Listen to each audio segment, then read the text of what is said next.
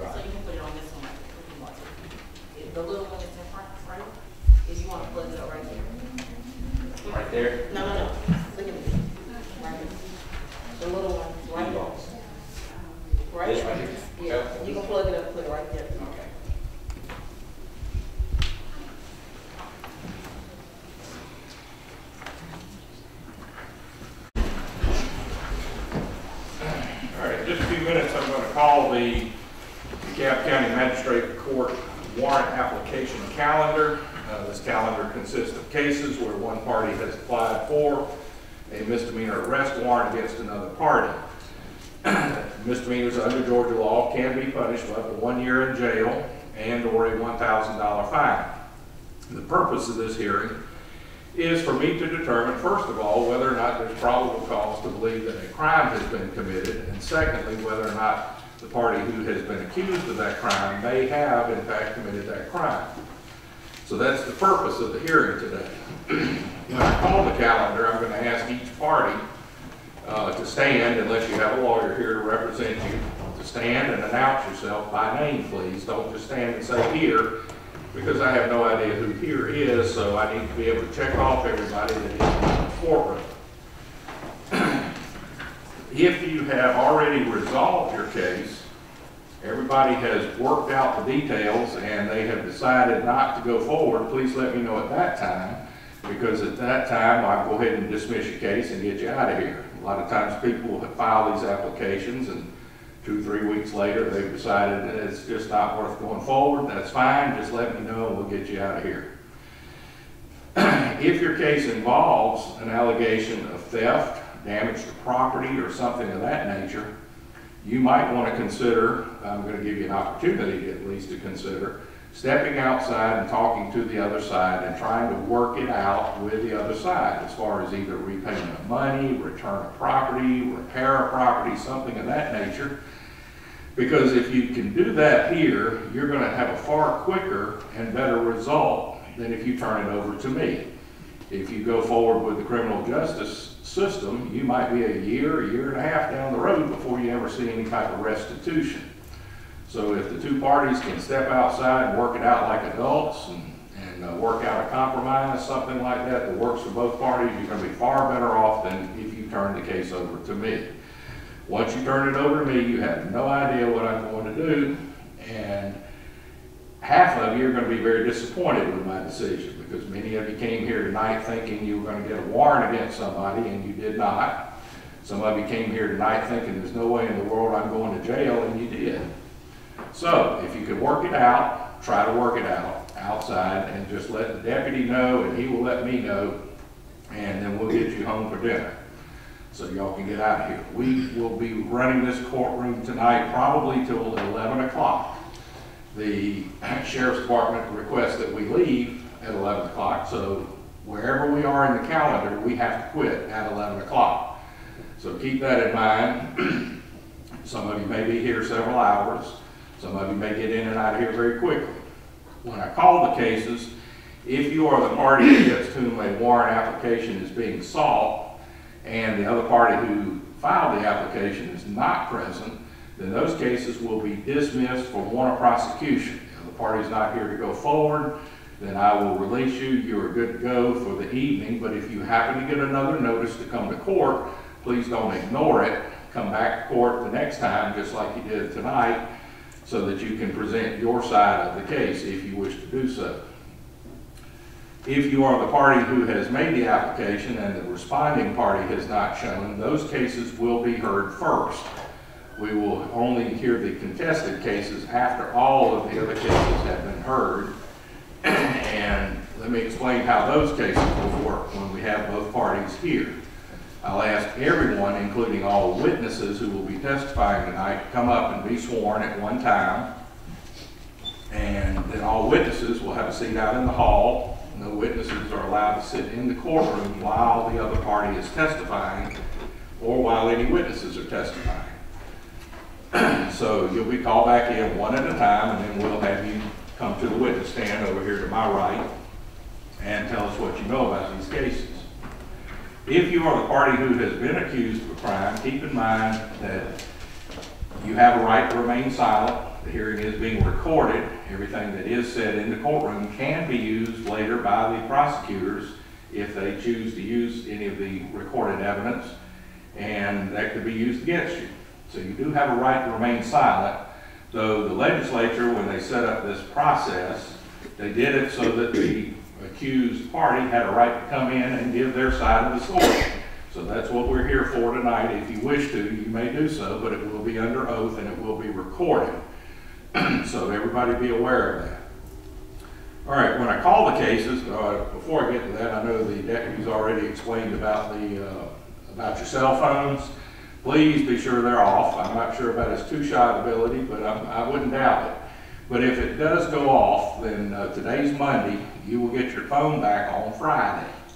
And we all know that nobody in this world can go more than five or 10 minutes now without looking at their cell phone and uh, checking to see if somebody's put something on their Facebook page or uh, send them a text message or whatever. So please uh, go make sure that your phone is in the off or silent position.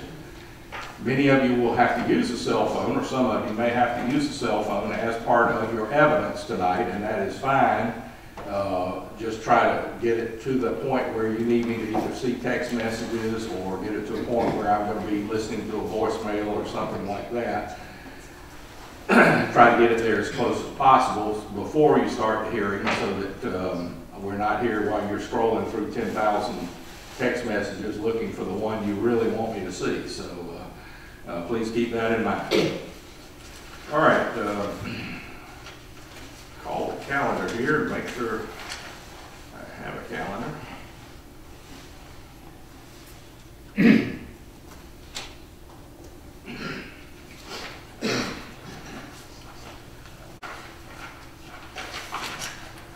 Right, Henly Shelton, Tony Delmichi. Steve Curlee, present for Mr. Delmichi. Patty Bernard, present for Mr. Shelton, Your Honor. Thank you. James Stegall, Carissa Lowe. Caressa Lowe. Joshua Sykes and Crystal Cooley. Okay. You're Mr. Sykes, okay, you're on the wrong side of the room. Is Crystal Cooley here? So we got notice returned with the defendant here. Okay, um, all right, Mr. Sykes, you are free to go. Case is dismissed for warrant of prosecution. Get another notice, don't ignore it.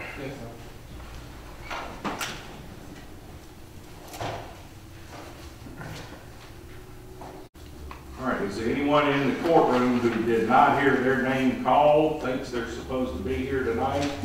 Um, All right. Okay, before taking up uh, any of these cases, I'd like to see uh. Curlee and Ms. Bernard in chambers, please, if you'll come over to the door here.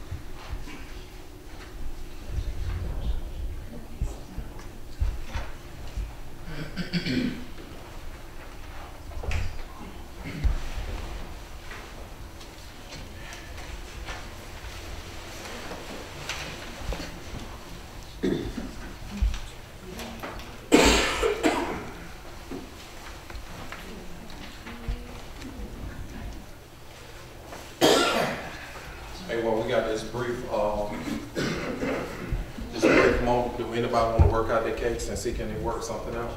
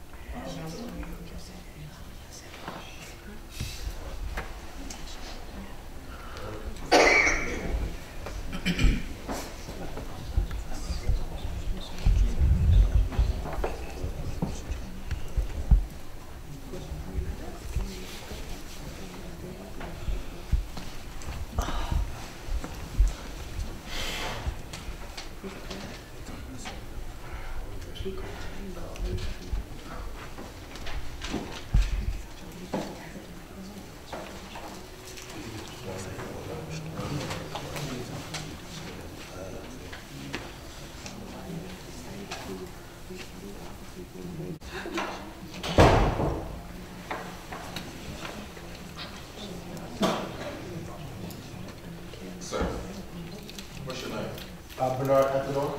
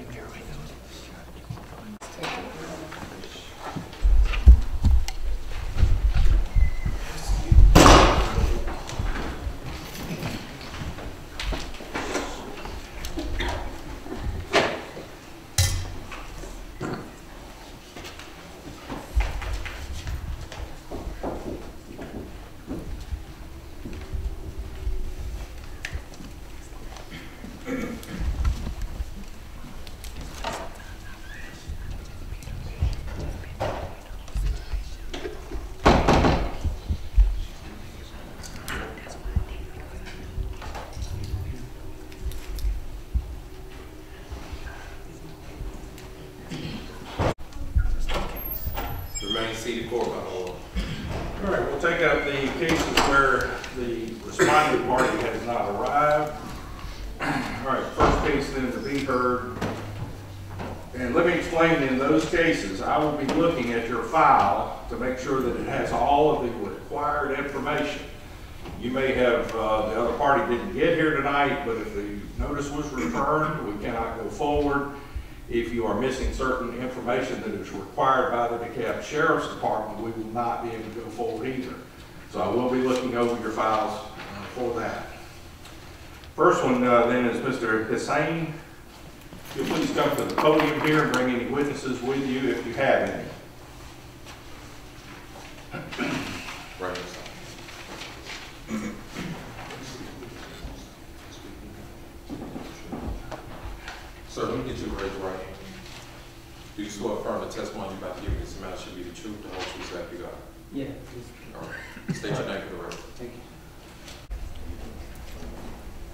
Okay, and I believe that brings us to what's left. There's one here. And you Honor, if I could have this one moment. Yes, ma'am. Uh, and that, that actually, uh, my estimate of 8:30 turned out to be a little better than 8:30. okay, we're going to take a short break. She's got to do some uh, recording.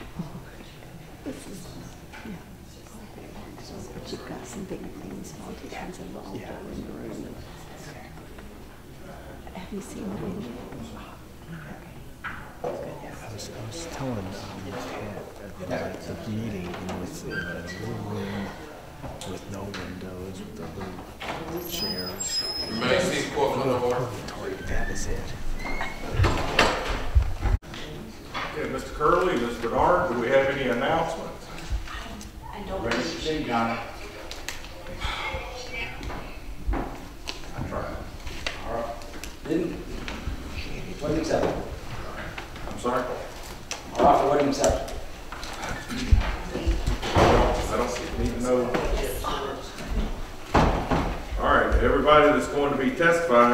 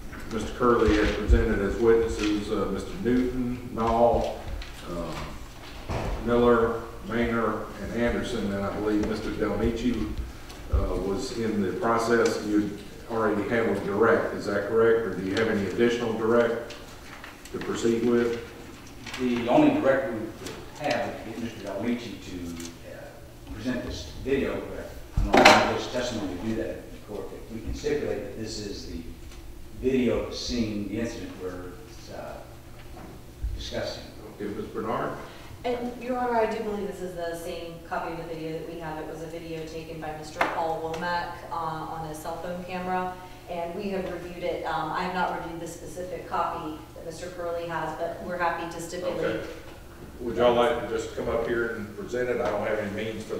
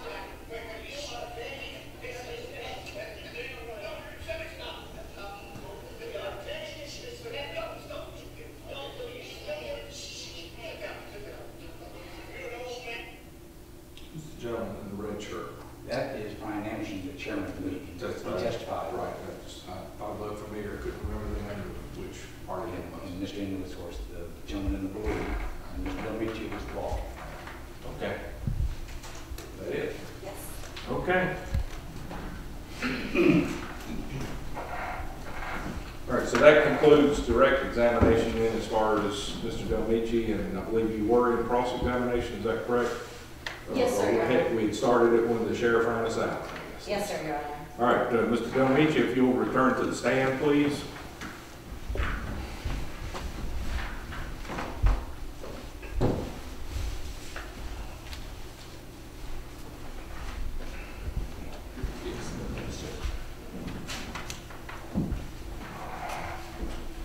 So you already been sworn, state your name for the record. State your name for the record. My name is Tony Delmichi. Good evening, Mr. Delmichi. Have you previously viewed the video that was just shown to the judge? Yes, And uh, does anything about that video cause you to change or revise anything that you testified to in the first portion of this hearing on October 7th? the video you showed the judge is a very small part of the entire video. I watched the entire video. Okay, Mr. Delmichi, let me explain something, this goes for all witnesses. When a question is asked, it can be answered first by a yes or a no, which her question could have been. Please answer yes or no, and then you can explain your answer. You have the right to explain your answer, but always start, please, with the yes or no. Thank you. Can you explain your question, please? I was asking, after you viewed this video, do you still stand by all of your testimony from the first portion of this hearing that took place in October? Or are there any changes that you'd like to make at this point?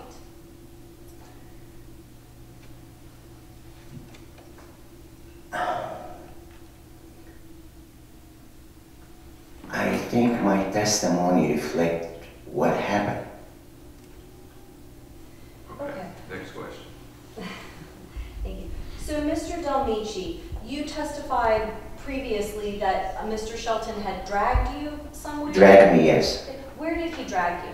He dragged me, he first grabbed me by my hand and dragged me, grabbed me from my shoulder, I mean my left arm, and dragged me, Where, where did he drag you? trying to get me out of the room. But where did he drag you to? He was dragging me away from where I was standing in one side of the room toward the door. And about how far did he drag you? About two or three feet. Now, did your feet leave the ground or was he dragging your feet along the ground? He was dragging my body and my feet. Okay, so your testimony is that Mr. Shelton placed his hands on you and physically moved you two to three feet across the floor? He, he, he moved me away from where I was standing, but he was stopped by others. But your testimony is that he, Mr. Shelton, moved you two to three feet. give or take. Did he ever pick you up off the ground? No, So he was dragging your feet along. no, he was dragging me from my arm and just dragging me. You know, do you want me to show you how it was? I was dragged. Well, I'm, I'm asking if you can describe it for us because I don't know if you're using the term dragged in a way that, that means something else. Um, You're standing up, somebody's dragging you. I, I was dragged. I felt it. I seen it. I was dragged.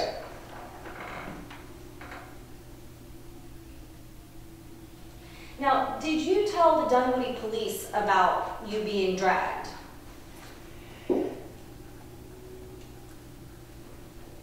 I think I told them, but when I saw the Dunwoody police report, I found it full of errors. And I had no confidence in the report, the written report. Um, y- and so you have been able to review the police report in this case? I did not get the police report directly. I had one of our reporters get it and get the video. And I think I read it after it's been published. I'm gonna caution the witness again, please, each one of those questions could initially be answered with a yes or a no, and then you're welcome to explain after you answer yes or no. Yes, sir. So please start with that instead of giving an explanation which doesn't clearly answer yes or no. Yes, sir. If you can answer yes or no, if you can't, Okay. say, I don't know. Thank you, Judge. So this incident that you're trying to get a warrant for Mr. Shelton for took place on July 30th, right? Of Yes, ma'am. 2015? And you went to get the police report on August 4th of 2015, right? No, if you recall, no, it did not work this way. Okay, when did you go get the police report? If you remember my previous testimony, I had met with the chief of the police. Uh, when I received a call eh, that the police report is ready, or I recall I asked Pat Fox, our reporter who was working on the story at the time, to check with the police department, and I believe he told me that it is ready and he will pick it up somehow. Well, my question was when you made the report to the police, when you told the police about what Mr. Shelton had done to you. I don't remember the dates now, but we published them. Okay, well, I'm, I'm not worried about what you've published. I'm worried about when you went to the police to tell them what Mr. Shelton had done to you. That was on August 4th, right? I don't remember the date, but it was on a Monday following the incident. I spoke to the police chief. I believe a couple of days later, I hear from a police detective. Now, so you, you don't recall making contact with a police detective on August 4th? I don't remember the dates, but I remember how did things go in order. The police chief came to my house, we discussed the issue. He said, on a Monday, the Monday after the incident. Uh, a few days later, I got a phone call from a police detective, and I met him on a date we agreed on. He did his report and he did his investigation and I asked our reporter to check if the investigation is finished and I believe uh, he was in contact with the police department and when the police report was, was ready, we got a copy of it. Well, I'm not worried about what happened. I don't remember the dates. Okay, I really, I remember what happened in Orders. Okay. So what day did Chief Grogan come to your home? The Monday after the incident. Okay, and you and he came to your home? Yes, You're sure about that? yes. He came to your home on Monday. The Monday after that incident. Is there any reason why that would not be reflected in the Dunwoody Police account of the incident? I don't know. Do you know why the police report would indicate that you contacted Chief Billy Grogan to file a report and you were told that a detective would contact you so you could file the report? The truth is, I spoke to the police chief that Monday morning. He came to my house, as I said in my previous conference uh, testimony. He spent over an hour in my house. I discussed the issue with him, as I, as I said in my previous testimony. He showed me his new remote control SUV, so he came to my house. And just to be clear, that was Monday, August 4th, 2015 Mr. Bernard. that took place. Where is this going? Your Honor, is the relevance of what day he came to his house, or whether he even came to his house? Your Honor, because you are going to make a determination of whether or not my client deserves a warrant based on the veracity and reliability of this man's memory. It And appears I'm that- really more concerned with what happened in that room on the date of that video. I am not concerned with whether he picked up the report five days later, 15 days later, or two months later. It's irrelevant to me. And I agree, Your Honor. And I- whether he remembers that what day he got it, there's absolutely no relevance to the incident that I'm here about. We spent over two hours, and Mr. Delmichi is now telling me the same thing that I heard in October. And Your Honor, I'm afraid that that is actually, what actually happened is he's telling you about when he went to pick up the report. We're not interested in that. We are interested I'm in not when he interested took in any of out that the regarding the report, I'll tell you that. Does the court not find it relevant when the charges were taken out and he contacted the Dunwoody Police Department? Not really. Okay. I mean, eh, people get to contact the police when they get to contact them. We will You've follow made, those you've made a point, you can argue that certainly in closing, that it happened on a certain date, that he didn't report it until Monday or Tuesday. I looked at the calendar, turns out Monday was the third, Tuesday was the fourth of August, if anybody needs those dates. I don't, but in case you do, those are the dates. And Your Honor, we are following the court's direction as to what to question on. The I court has, that. the court has reviewed the police report. Is that correct? I reviewed it back in October, but I'll be happy to look at it again. I would be happy to give the court a copy. It's the original. Thank you. We're happy to save time. Okay, I appreciate that. So moving along, whenever you spoke to Chief Grogan and another officer, you did not tell them about Mr. Shelton dragging you? Is that what you had testified to earlier?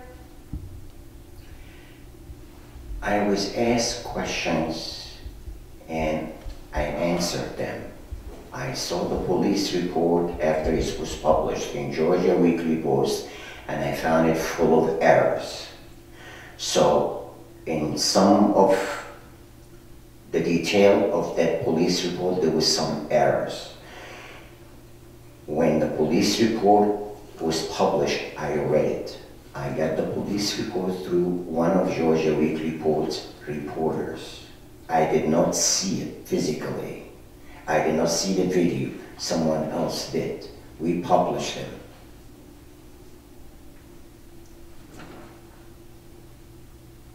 What were some of the errors in the police report, Mr. Delmichi? I don't have the police report in front of me, but after looking through the police report, I reached the conclusion there was some errors, some statements was referred to me which I never said. I was, it was not clear in the police report, for example, if the gentleman who took that video was he brought in or uh, he was interviewed, he was brought in to be interviewed, and it seems to be from the police report, apparently he was interviewed by phone. I noticed also some of the statements were made in the reports were not correct. So that based on that impression, I decided to bring these people under oath. And I brought them under oath here. Some of them, all of a sudden, have memory lapse. Politicians.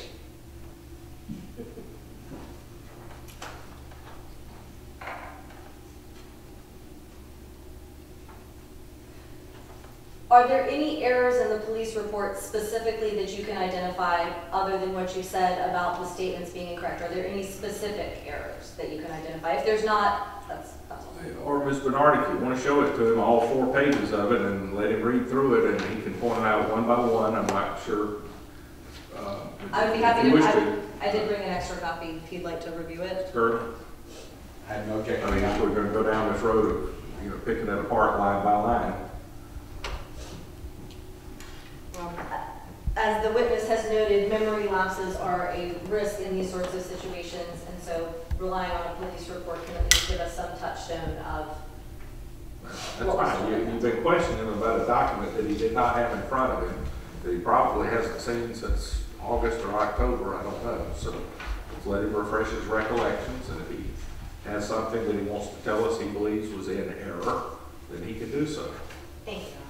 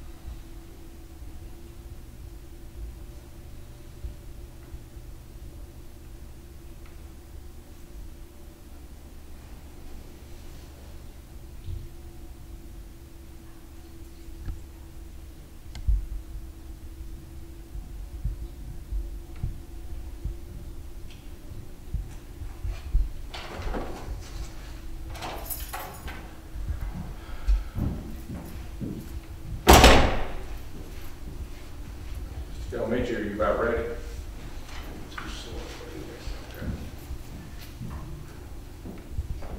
You- You're not being asked to correct or change or disagree with the statements. Much of this report is consisting of statements made by many of the witnesses who testified here. You may disagree with those, but please understand, you don't change that. The only thing you can disagree with is what was said you think it was said incorrectly in the report.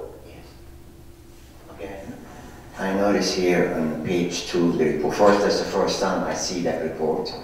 I notice here in page two of that report, says Monday he contacted the police chief Billy Grogan to file a report. Mr. Delmichi was informed that a detective would contact him to file the report. It's in page two. So what you were asking me about, it's in page two. So the, the, the, the the officer made a mistake in his introduction. Anything else, sir? It's more or less around, about right, sir. Okay. All right, let's move on, please. Thank you. So you recall Senator Millar using profanity towards you? No, Oh. So that he was just screaming at me, that's all.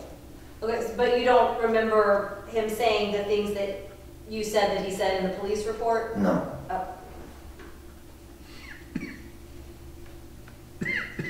Now, you said that you had red marks on your arm from where Mr. Shelton had touched you. Is that correct? Yes, And you were at this meeting to take photographs, right? yes, But you did not photograph any of your injuries?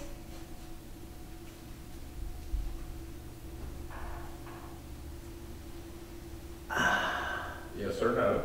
no, I did not.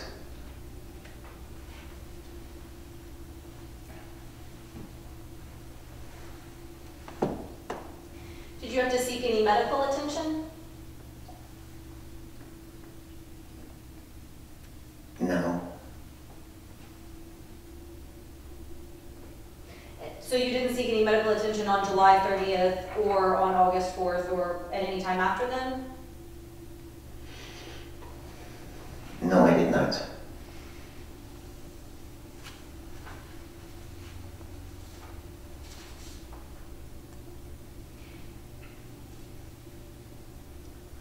Have you ever gotten into confrontations with speakers at any other political events? No, You've never gotten in, into any confrontations with speakers that have resulted in points of order being called on you? No,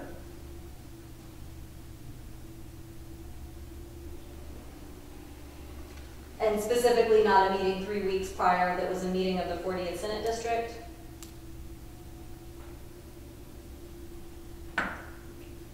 I, when, when was that meeting? It would have been earlier in July. I don't remember going to too many meetings.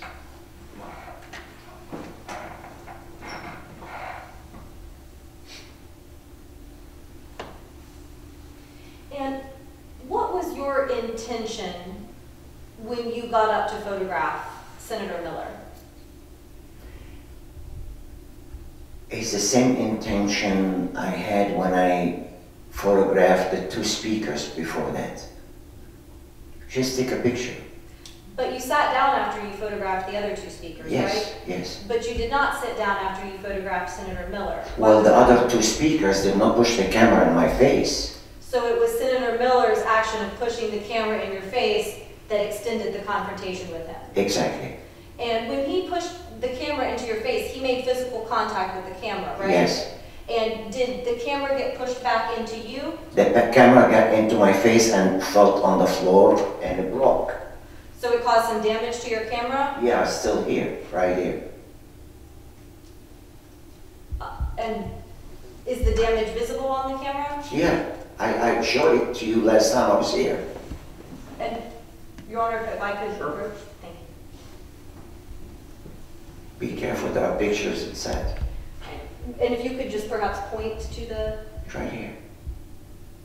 Oh, goodness, so there's a, a crack in a large piece of plastic missing? Yeah, yeah, it fell on the floor. And that was when it fell on the floor after Senator Millar pushed it into your face? Yeah, face? that, Senator Millar, as, as I was trying to take the picture, his hand was coming toward the camera. I pressed the button, I was not sure I took the picture. And the camera dropped on the floor. So I picked up the camera from the floor and I put it back here and I sat. And it, Well, wait, wait a minute, now, you sat then, or, or is that when everybody started yelling and you? you I had the sat camera, around? I, I had the camera on the floor, so I picked up the camera. Okay, Then I just put it back here, I set it down here.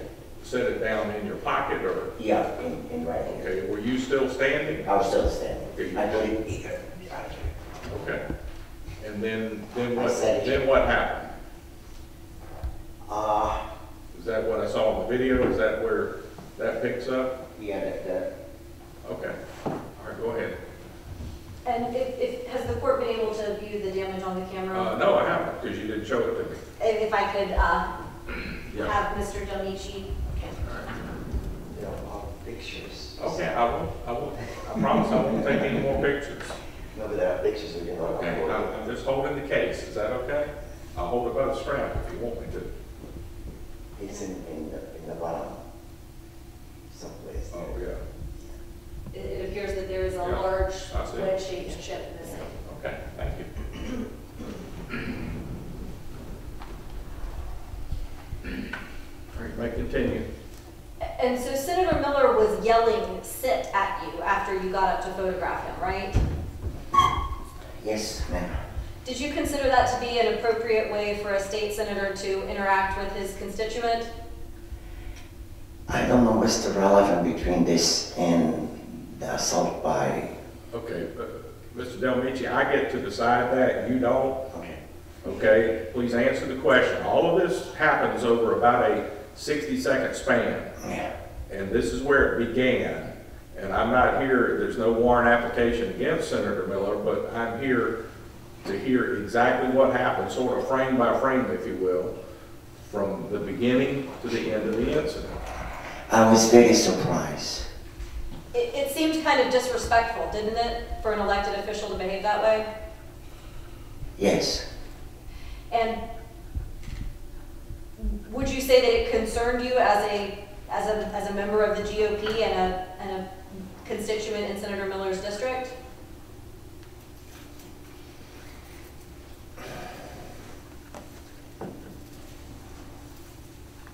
I just don't believe that this could happen. And when you say this, you mean a senator telling somebody to sit down and pushing the camera in his face so that it fell and dropped and broke? The two incidents that night, including Senator Millar. And, and so, do you believe those incidents were related? I need to explain one thing, Your Honor. I know it's not a ye, I cannot answer the question, be yes or no. Okay. I cannot answer that yes or no. Do you believe that there was any kind of conspiracy or prior plan between Henly Shelton and Fran Millar to deprive you of your rights or silence you? I don't understand your question. Do you believe that my client, Henly Shelton, was somehow in on Senator Millar's pushing of the camera and refusing to be photographed and shouting disrespectfully at you?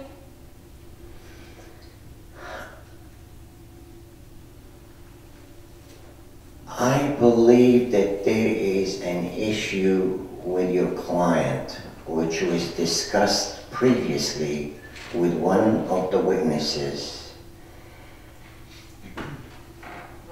And Brian Anderson and I had a discussion about your client, and perhaps you're personally familiar with it. And your client was described by Brian Anderson, who is the chairman of the DeKalb GOP, that your client is arrogant, have temper and short fuse. And Your Honor, I would of course note that this is hearsay and. No, and it's not totally responsive to your exact question, but let's move on. So I'll ask one more time. Do you think Henly Shelton was working with Fran Millar to somehow silence you? Did, did he not answer that he did not, could not answer that question? Like I Did, said, I did I not hear that two minutes ago? Then If I did hear that two minutes ago, then I don't want to hear it again. Well, and Your Honor, it is, I'm, I'm trying to work with the answers that I'm being given I and understand. that I'm thoroughly But invested. asking it a second time is not necessarily gonna get you a different answer every time. I was afraid it was a third time, Your Honor, so It it was could have only been the the third time. if it was only a second, then I will stop. Okay. So Thank you you. can't answer that question, is the answer that I'm getting. I cannot read his mind.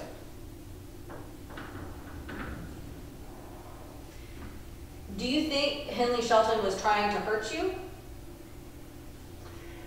I would like to repeat what I just said. Uh, Let's Yes. start with a yes or no, Yes, then you can explain. I believe that Henly Shelton has an issue of arrogance, short fuse, and hot temper. And for my luck, I was his first victim.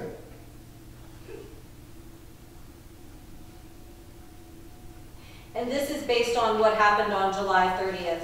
Or were there any other events that led you to this conclusion?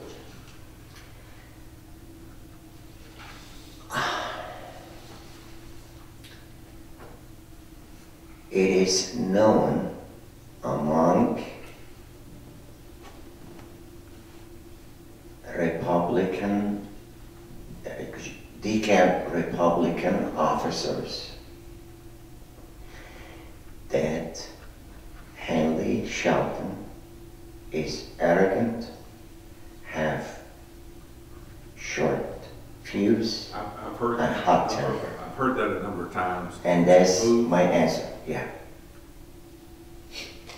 So there are no other, no other events that made you think that Henly Shelton is trying to hurt you? He just acted wrong. The question, sir, is, is there something in the past that leads you to believe that on this night, based upon something in the past, if anything, he intended to hurt you this night? That's the question, sir. Listen carefully. No, sir. Okay, let's move on. Did you, after the incident where, after the exchange with Senator Millar where he pushed the camera at you, did you see Senator Millar move towards you again?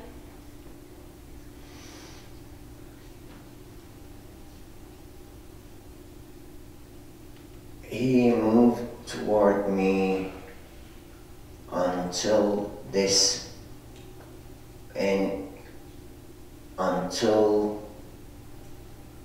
after Shelton went back to his seat when he was prevented by Travis.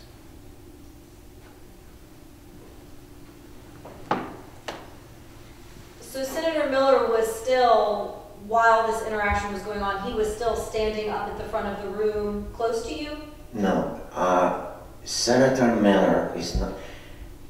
I was in one end of the room, Senator Millar was in the other end of the room. Henly was in the back. There's a big distance between me and Senator. If you take a look at Georgia Weekly Post, we published some pictures of that room. You, and you were there yourself many times. I always sit at the end of the room so I can watch everybody. The people, when they speak, they speak in the opposite side. If you take a look at the pictures or in the video, I was sitting far away, about 15. Where were you when you took the picture, Mr. Delmichi? In the middle of the room? No, I was about three, four feet from the wall. It's a very small room, correct? For that many people. I, if the wall is over there, Your Honor, I was like the second chair up front. All right. and Millar is somewhere around that desk.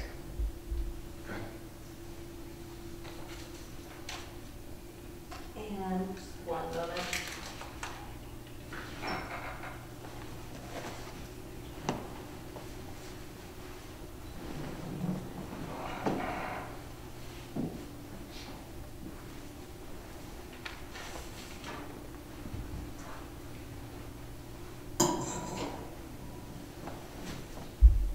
Do you remember people telling you to sit down at that meeting? All what I remember was screaming and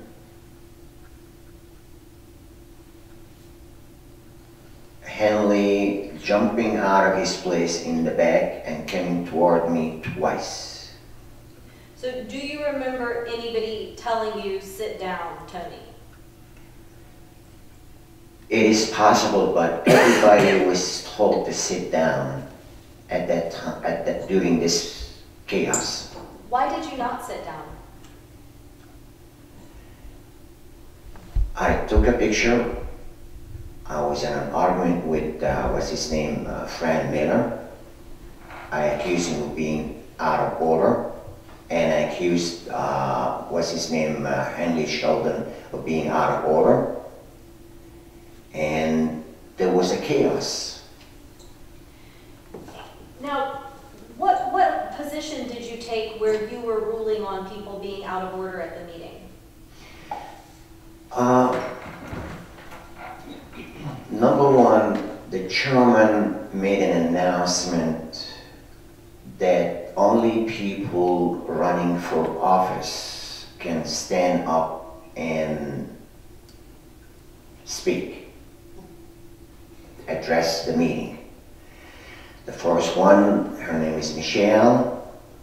She stood up and she spoke.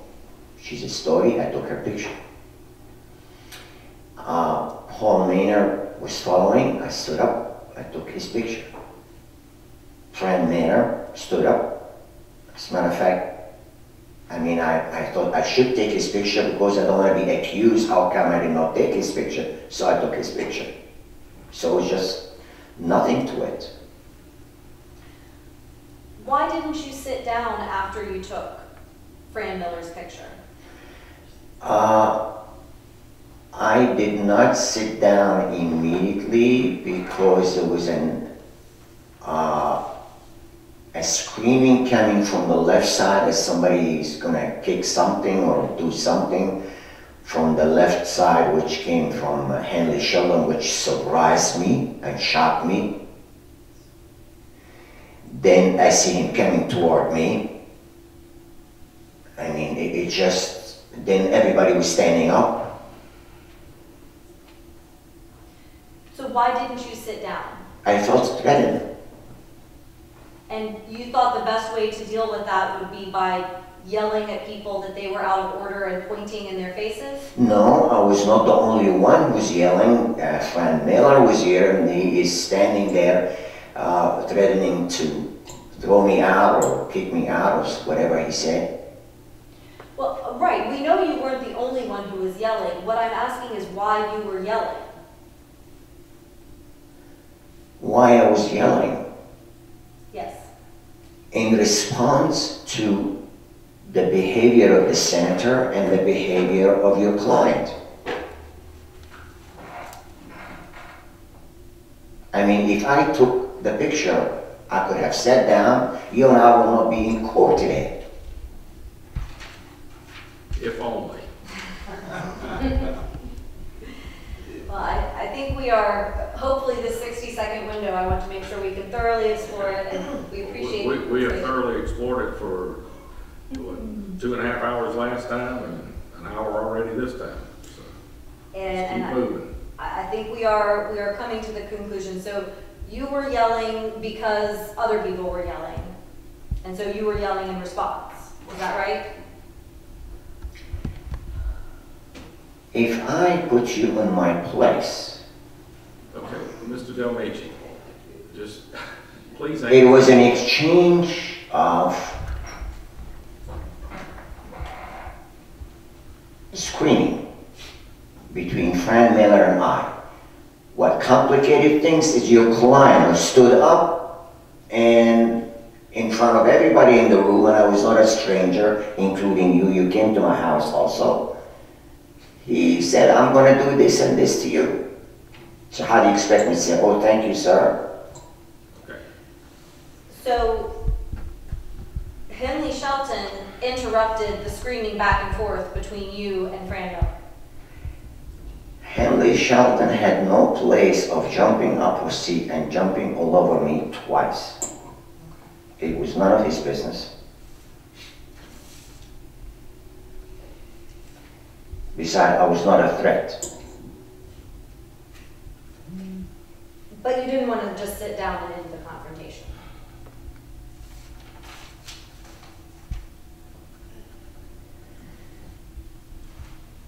I sat down after everybody sat and I was asked to sit, so I sat.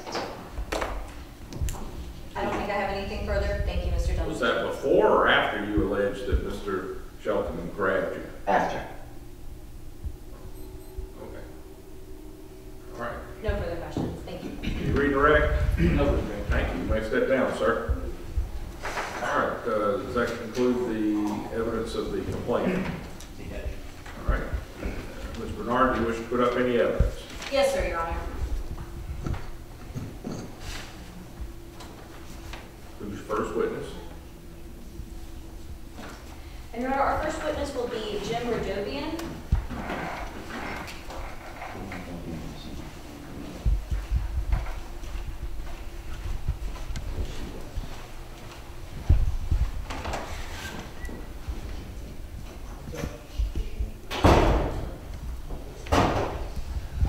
And Your Honor, just uh, for the court's information, we do intend to call two witnesses.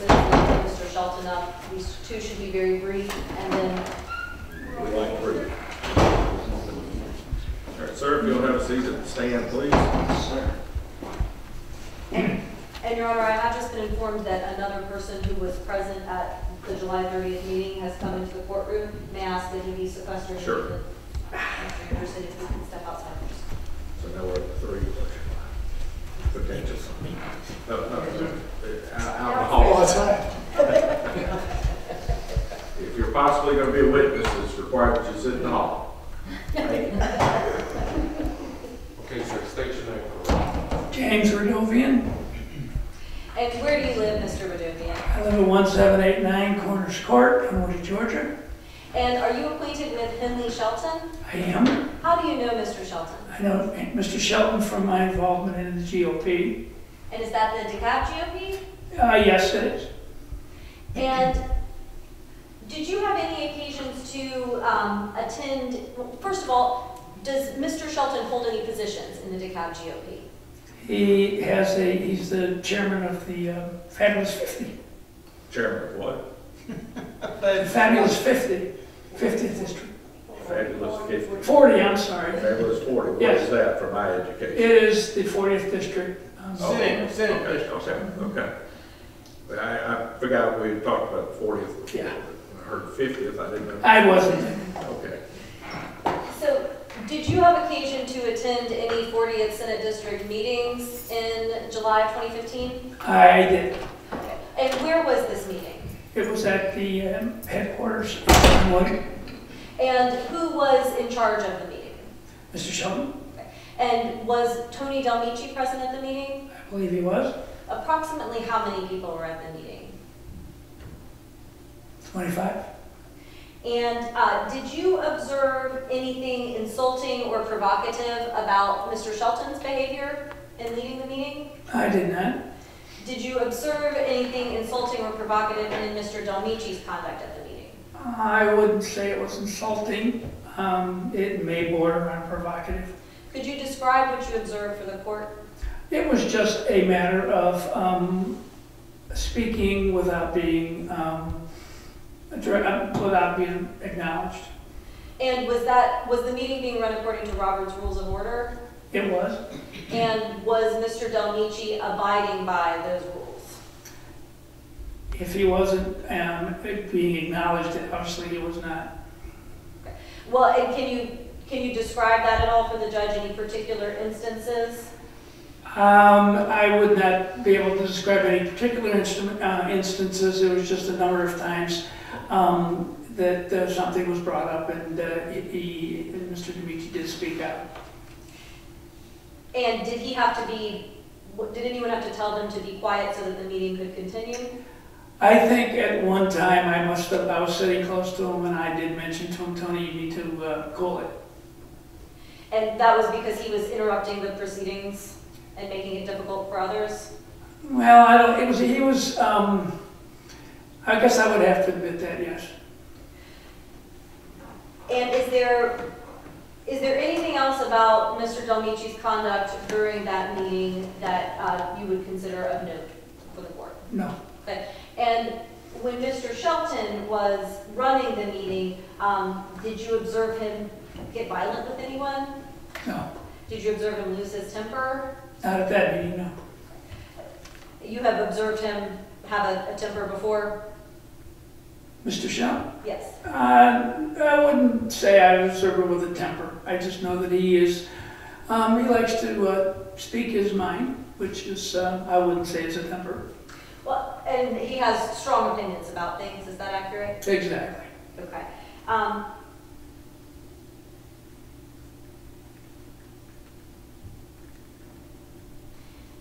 Have you ever witnessed Mr. Shelton be disrespectful or try to shut someone out from speaking? I have never witnessed it, no. Have you ever witnessed him try to silence anyone or prevent them from participating in a political activity? I have not. Have you observed him try to get people to participate in political activities? Well, that's why I'm there. And um, from what you, you know of Mr. Shelton, uh, do you think he is the type of person who would use violence to try to silence someone and keep them from participating? I don't believe so, no. No further questions. Thank you very much. Thank you. Mr. Any cross-examination? Yeah. I'm not asking you, Mr. Delmichi, I'm talking to your lawyer.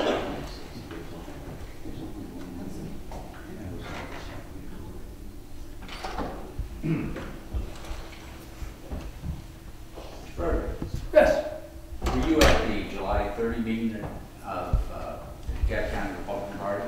is that the one in question? It is. No, it was not. Have you attended other Republican Party committee meetings? I have, Uh, Have you ever been present when uh, Bob Lundsten was attending a meeting? yes, I have. Have you ever seen him confront anybody who spoke up in dissent?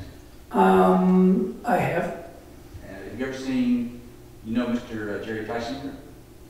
I do not. Years. How often did you see Mr. Lundsten confront people when they spoke up at a meeting that, Um, probably a number of times, I wouldn't be able to give you an exact count. would you say it's fair that he was attempting to uh, silence them? Are we talking about any meeting, or are we talking about the a Republican Party meeting? Talk about just the Republican Party. I, um, I will take that back, then I have seen Mr. Winston, um, do that at meetings, but not necessarily at GOP meetings. What, what kind of meetings were they, sir? They were Dunwoody, Dunwoody homeowners meeting, And was, and, um, I've seen him do it at, um, DeKalb County, um, uh, meetings. and was Mr. Shelton present at those meetings? No. Not to my knowledge. Not to your knowledge. No other questions for Sir, Mr. Can you Chairman? redirect? Just briefly, do you, um, do you know Mr. Shelton to conspire with Mr. Lundsten or Senator Millar to try to silence anyone? Absolutely not.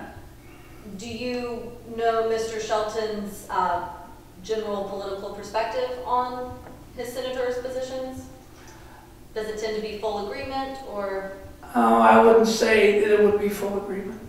so there is not full agreement? No, there is not. Nothing- I don't think, I don't think Mr. Shelton has full agreement with anybody. Nothing further. Thank you, Mr. Redovian. Doesn't sound like anybody in that room was in full agreement with anybody. but, uh, Mr. Curlee, No, any no, no. re- recross, I'm sorry. All right, sir, you may step down, either, either excuse go home and enjoy your dinner, or you can hang around whichever you wish. Oh, put this much time into it. Any additional witnesses? Yes, sir, we'll call Dwight Hawksworth. I, I, I thought it was unique as well. We have Hawksworth and Foxworth.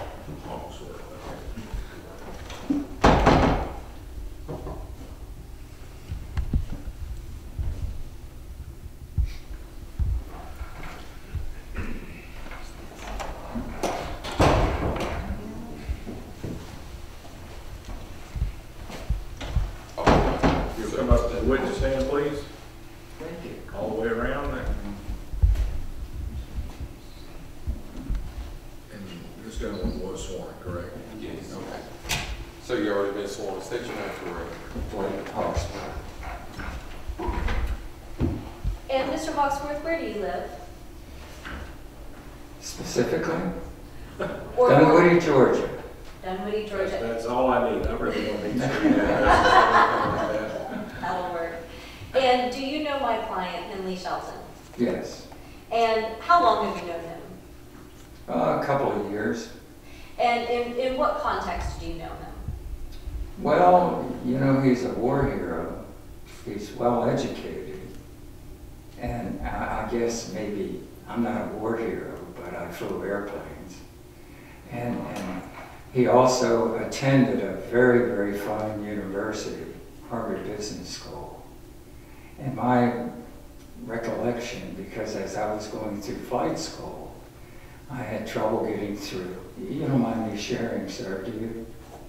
Because it's, it's late in my A lot of people have shared a lot more than we've needed, Oh, but you well- may do so if you need to. I have a solution because I truly have been around. I've had my ups and downs. I've been higher than most people in the world without drugs. and I say that uh, with, with pride, and it's the truth. Okay. But back to Henly. Uh, we, we had some more stories to share. I too was involved in Vietnam, but on this side, and I can tell you that, that it was a political war. I was very troubled at the time, and in fact, and this is human interest, I'm sure, our government has not given me credit for the time that I was on active duty in the U.S. Air Force during Vietnam. So they make mistakes. And back to mistakes as we segue. I was very active in the state of Maryland in the Republican Party. And I can say this, that with skill, cunning, and dare, and I'm, I'm kidding, we got 92% of the eligible voters out to vote during a- presidential election. I am gonna have to ask that we move along. We- Thank you. We are gonna get run out of here at eleven o'clock again, and the way this is going, we're not gonna make it. We're not gonna be finished, so I'm gonna ask, please, Let, sir. let me be factual, because why I'm here, Well, I, let's let her ask the questions. thank you. All right, when she asks the question, then you answer, and then we go back and forth. I, I brought, I, I believe in I'm being reading- prepared. Sir, that's not. That's fine. That's not how the courtroom works, sir. Okay. She will ask you a question, you answer it, then Mr. Curlee may ask you questions, you answer it, and then I determine what I need out of what you answered, okay? I've gotten where I wanted to go. Thank you. Uh, we, we very much appreciate your candor, uh, but we'll, just moving things along. Um, have you had occasion to go to any meetings with Henly Shelton? Yes. What kinds of meetings? He's called meetings at the DeKalb County Republican Party. And have you observed his demeanor in these meetings? Absolutely. How would you describe his demeanor in these meetings? Professional. Have you ever seen him insult or provoke anyone? No, as, as the, the person in charge, because that is his role. As the 40th Senate District Chairman? That's correct. So in his He opens the meeting, and it's conducted under, perhaps this, this goes back many years, Robert's Rules. And as a matter of fact, I did bring copies for people in case, you know, this has been around for a long time, and you're welcome to look at it. And so you have always observed Mr. Shelton running the meeting fairly and in accordance with Robert's rules? I've been around, and Robert's Rules is how it's conducted in an orderly fashion.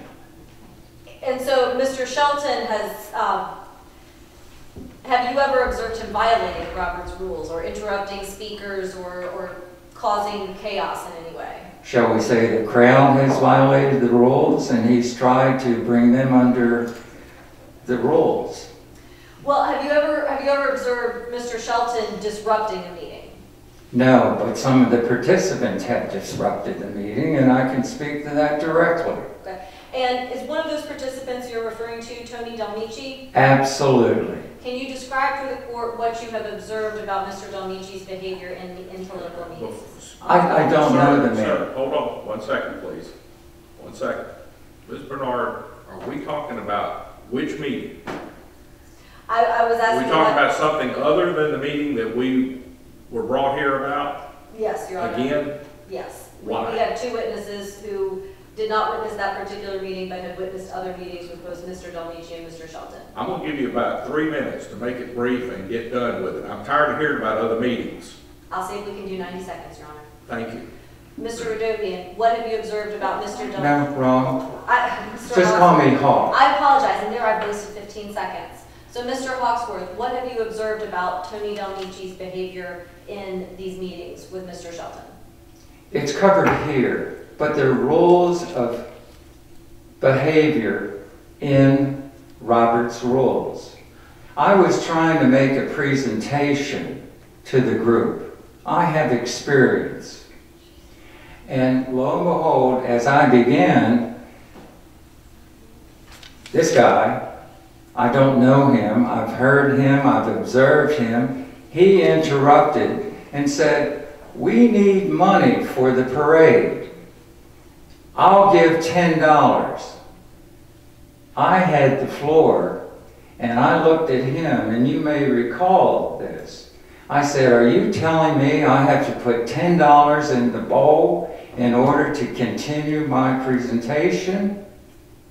And he just kind of looked at me, as he often does, and I put ten dollars in, but it, he was out of order. That in itself is a behavior trend that I personally, as a professional, dislike. Thank you. Thank you, Mr. Hawksworth. Uh, and I don't have any further questions for this witness. Thank you. Any cross-examination? No questions. All right, you may step down, sir. Thank you. You're free to go or stay as you wish. Any other witnesses? And Your Honor, we also will call Dick Anderson, who had not previously been sworn, who was present at the meeting on July 3rd. Thank you. On my way out, can I No, sir. read these? No, sir. I, I can take You it. can take, give them to Ms. Bernard, be fine. It's worth reading. I'm sure she'll enjoy it. Well, Thank you, Mr. Hawksworth. sir, you may too. No, sir, uh, that's not how it works here. Uh, We don't use Robert Rules of Order, we use evidence rules. Little different. I- I And we guess- use the rules of procedure. Thank you. Have a nice evening. Thank you. Happy New Year.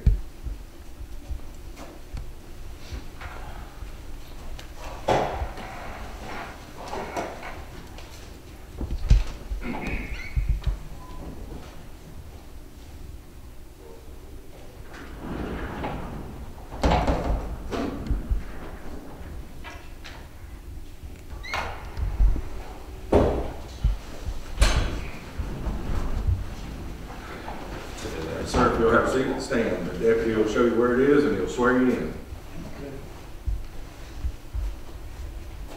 That chair. May I have a seat, sir? Raise your right hand. Do you swear affirm the testimony you're about to give in this matter should be the truth, the whole truth, so help you God? I do. All right, state your name for the record. My name is Richard Anderson And where do you live, Mr. Anderson? in Chamblee, 1980 1893 Gainsborough Drive.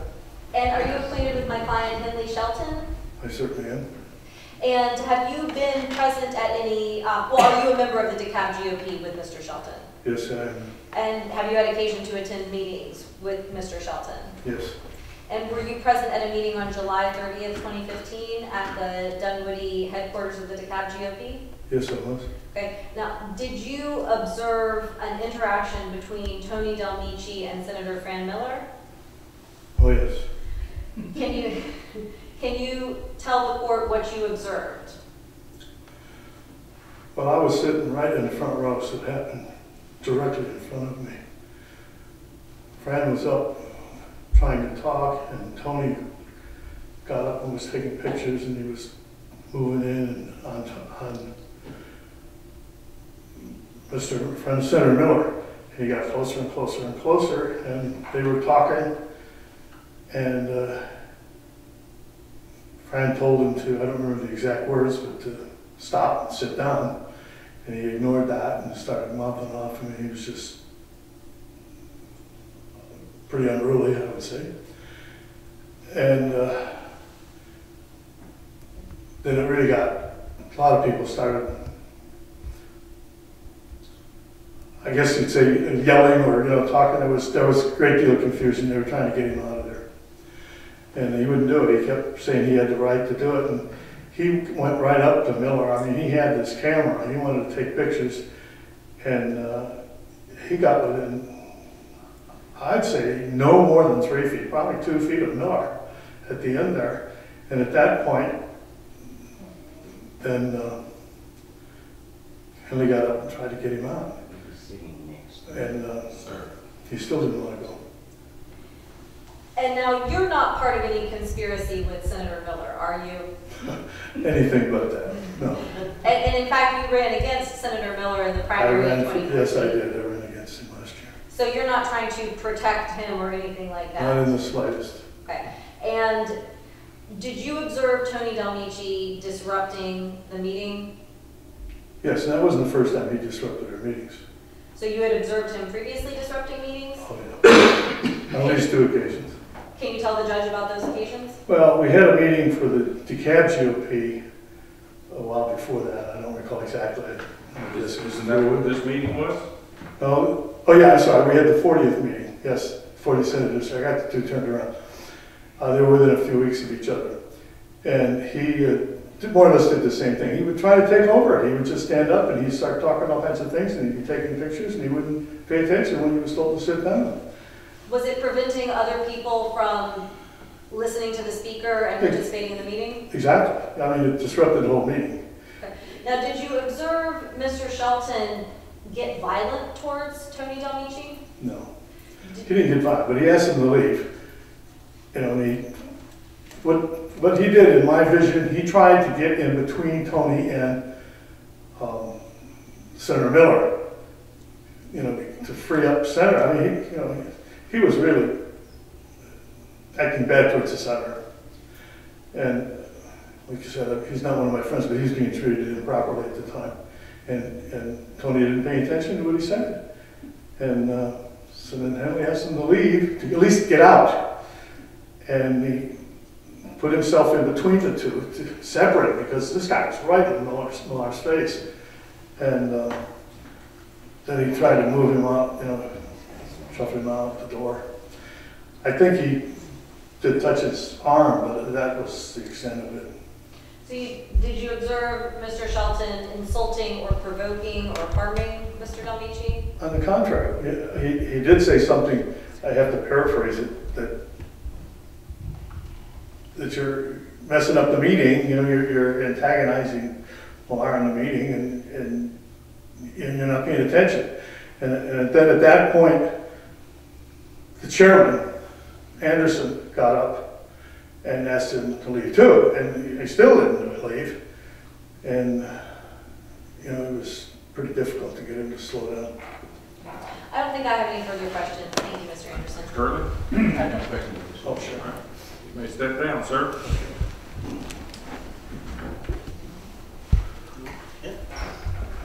And Your Honor, our last witness will be Mr. Shelton. All right, thank you.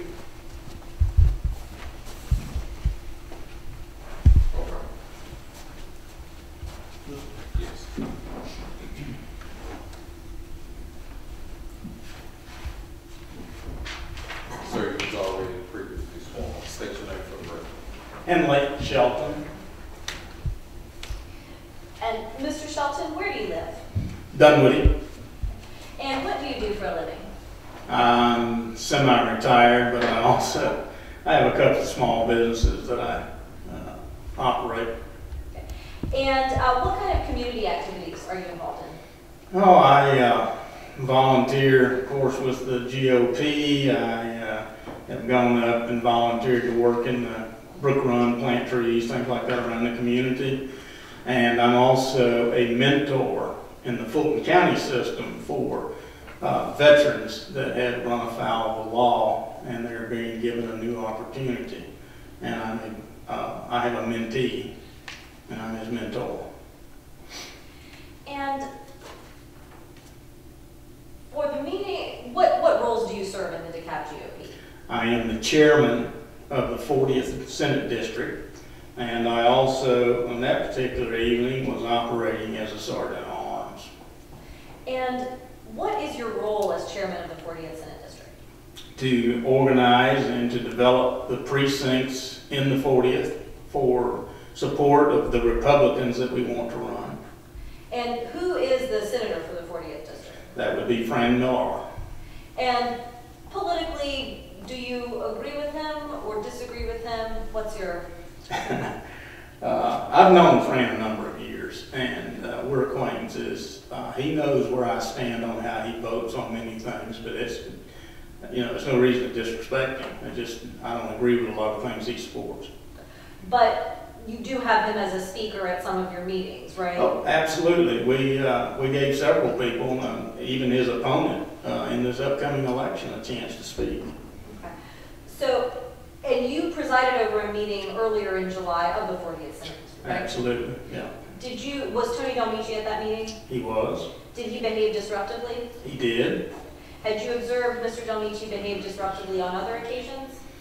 Uh, not that disruptive, but yes, he, he tends to speak out without being recognized, and uh, he doesn't. I, I guess he just doesn't understand Robert's rules. He doesn't know how to follow them.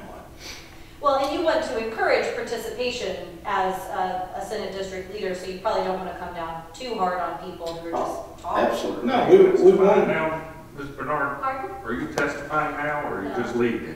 I'm not, I'm not testifying. Okay, why don't you ask some direct questions instead of leading questions? I'd be happy to, Your Honor. I'd rather hear it from his own mouth than yours, no offense. Certainly, Your Honor. Mr. Schultz. Um, I, I want to make sure that I am not leading. What happened next at the, at the July 30th, 2015 meeting? Well, it, as everyone's testified, Tony did get up and got closer in Mr. uh, or Senator Millar's face. And uh, I observed Fran put his hand up. He didn't touch him. He just said, you know, stop that. And that's another thing I'm going to cover. And, uh, you know, and Tony just, I mean, he started pointing his finger and saying, you know, you're out of order, you're out of order. And Senator Millar turned and looked at him, and when he did, I stood up, and I was irritated. I'm not going to deny that. And said, point of order, Tony, you're out of order. Now sit down.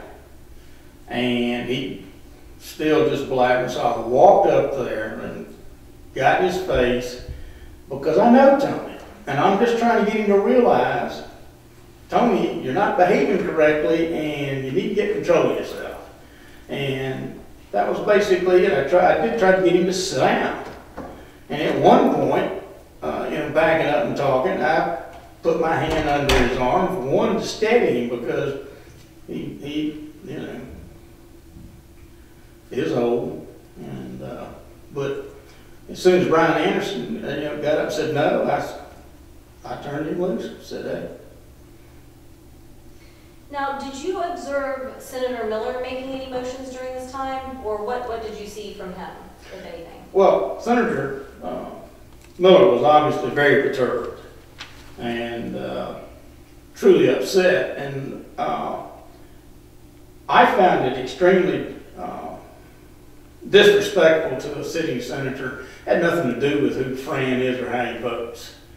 It had everything to do with he had the floor legally, and Tony was disrupting it. And were you intending to insult or provoke or harm Tony Delmichi? No. In no way did I mean to harm him. Okay. What were you intending to happen?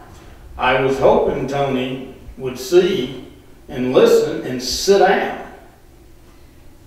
were you, what were you concerned would happen if he did not? Well, he wouldn't back off from Senator Millar, and I did not want to see a confrontation come between a Georgia senator and a GOP member that was provoking.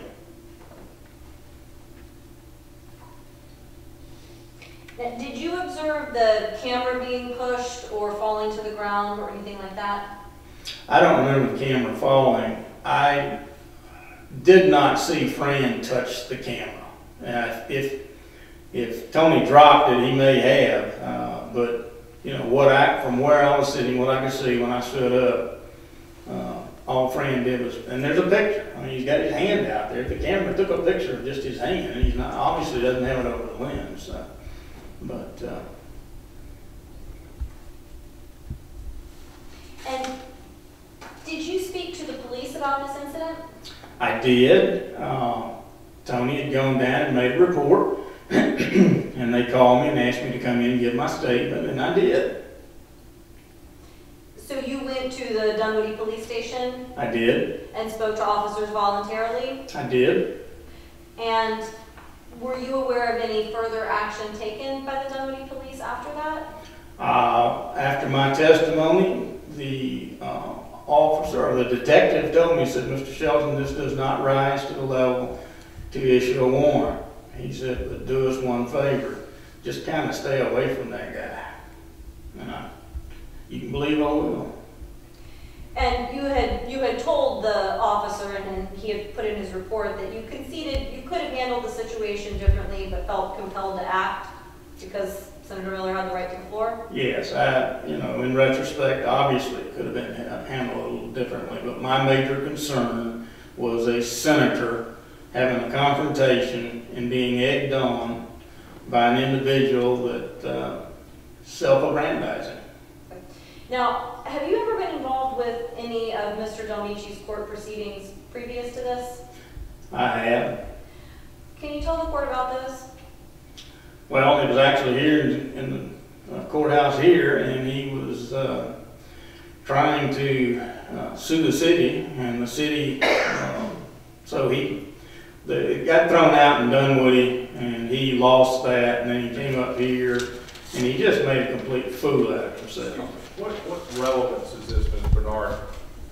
Previous court proceedings that had Yeah. been initiated by Mr. Delmichi that my client was able It's to a civil action, correct? That's correct. I believe it was a civil action, however, he was able to observe Mr. Delmichi's demeanor in court and approach towards the judicial Well, process. let's get to that part. And if you could just tell the court what you observed about Tony's, Mr. Delmichi's conduct, uh, reserving any judgment and merely telling the court what you observed about his behavior. I don't want to hear your opinion again. You can give me your observation, sir, but your opinion is not what she's asking. She's asking you to tell us what you saw, what you heard, what you, what happened in your presence. Okay. Okay? Do the best I can. All right. I will object to relevance, Your Honor. I- There's been so much irrelevance the last two sessions that uh, I've- I've given everybody way too much leeway and I let it get out of hand and I apologize for that. But make it quick. He was unable to produce any proof. He started off telling about too much regulation over, and the judge stopped him, as you have, sir, and told him he's only interested in the law, and it doesn't matter about over-regulation or anything else. Did he have any proof? And he didn't. So he lost that one, and I, I forget what the fine was, but I mean, just total disregard for the system. Had you come to court to support Mr. Delmichi in that instance? We did, he asked us to. Had you given Mr. Delmichi rides to GOP meetings? uh, meetings and other things. I mean, he's called me because he needed to go look at something, I was giving him rides. Okay. Do you know why Mr. Delmichi might try to accuse you of battery? Uh, I think that he was, uh, thinking that Fran Millar, no one would, uh, take up for Fran, and we weren't taking up for Fran, we were taking up for the senator. and the rudeness. Uh, Anybody had been up there and he started that kind of commotion, we would have taken care of it. Thank you very much, Mr. Shelton. No further questions. Mr. Curlee may have a few for you. Surely. Mr. Shelton, touch on the evening of July thirtieth? I believe I did. Did you intend to touch him? Yes. Did you intend to force him back to his chair? No. Did you direct him towards his chair? I asked him to please sit down. After you told him to sit down and he refused, did you grab his arm? No, that's not, when I grabbed his arm, he was backing up, and for a minute, I thought he was fixing to fall. I grabbed him, I said, Tony, come on, let's just go. And where were you going? I, at that point, if he wasn't gonna sit down, let's go out in the lobby and let you cool down. So you were going to forcibly remove him from the meeting? No, sir. I was not gonna forcibly do it, that's why I stopped when he resisted. You stopped when he resisted or when Ryan Anderson? When he resisted and Brian Anderson got up at that point, So that's your recollection? that's, yes, sir. I have no other questions of this witness, Your Honor. Sir, let me ask you, um, when, as I recall from testimony back in October, uh, Mr. Delmichi took pictures of Mr. Maner, who I believe was running against the senator, is that correct? That's correct. Okay, and when he got up to take a picture of Mr. Maner, did anyone say anything to him to sit down or to, that the Robert's rules were in effect and he couldn't stand up and take a picture? Uh, they did not, but he didn't approach Mr. Maner. He stood where he was at in front of his chair. All right. Uh, and there was a lady that was running for something else, Public Service Commission or Yes, something. I believe. yes, I don't recall her same name, thing. but, Yeah. uh, same thing. He, he stood up, took her picture and signed. All right, now during this incident, he stood up to take a picture, and uh, per your testimony, got close, closer to the senator than he did the other Yes, sir. speakers. Oh, yeah, much closer. Now, the first person, who was the first person to say anything as that was occurring? Brian Anderson was banging his gavel on, you know, when you, that was what you were hearing, is Brian trying to get him, to, you know, sit down. And, uh, of course, he wasn't listening. Who's, who's the first person that you heard to say anything? Was it the senator? Oh. Was it Mr. Delmichi? At what, okay, you know, what, at what point? At This, point that you described where you said Mr. Delmichi was approaching the senator. I would say Mr. Millar, Millar said something first. basically telling him to sit. No, sir. He said, get that out of my face. What, what words did he use? I've, I've heard them all, if you. No, no, he did not. I Okay. I didn't know if there was, you, you kind of hesitated like there was a blank in there that you wanted to fill in. Well, when you said sit, because he did after that. Okay. Okay, but at- the initial thing was get that out of my face, and we're gonna talk about that too. Right, I heard that. Okay, so, Um, how many times did he say that before Mr. Delmichi's started responding verbally? uh, when he put his hand up like that is when Mr. Delmichi started going, you're out of order, you're out of order. Okay. All right. And the chairman, uh, Mr. Anderson was banging the gavel. How, how many meetings do you estimate that you, and Mr. Delmichi, have attended as fellow Republicans, whether you agree or disagree politically on every item, but I, I gather nobody in that room agrees hundred percent with anybody. How, how many meetings would you estimate that you and Mr. Delmichi have attended together? Uh, there's I would say seven meetings. Okay. And at those other meetings, did he take pictures of anyone? No, This was the first time you'd ever seen that's the first time I've seen him take pictures. Okay. Now, he may have at the state convention, I don't know, what else. Any other questions by either council? No, Your Honor. All right, sir, you may step down. All right, um, we're actually approaching the end. We're finished. Nobody has any more witnesses. Uh, I tell you what I do want to do before I allow each council to have closing, and I'm sure you each have some things you'd like to summarize for me. Um, I would like to see the video one more time, please.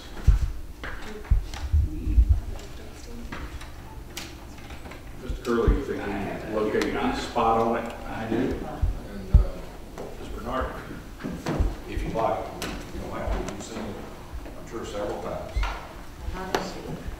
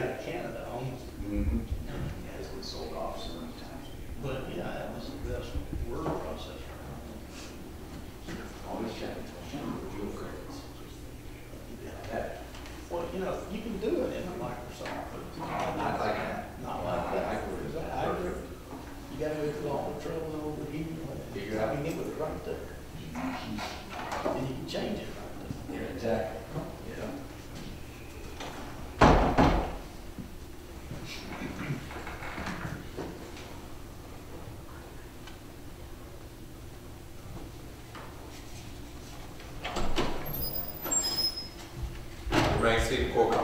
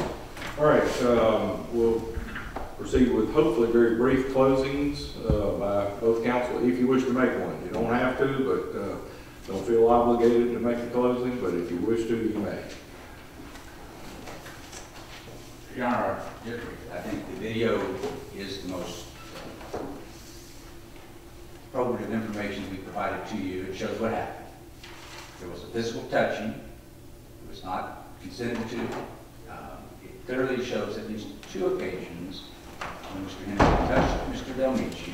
One, directly pushing him back towards the chair. And the second one, grabbing him and beginning to forcibly pull him out of the room. Both of those were done in a way, Luigi testified painful. He felt the pain in his hand when he was first grabbed, and then secondly, when his arm was grabbed, it left marks on his arm. He was embarrassed in public, humiliated in front of the GOP party. It was only after Mr. Millar had started the confrontation by demanding that he sit down, even though he was able to take pictures two other occasions, which you observed.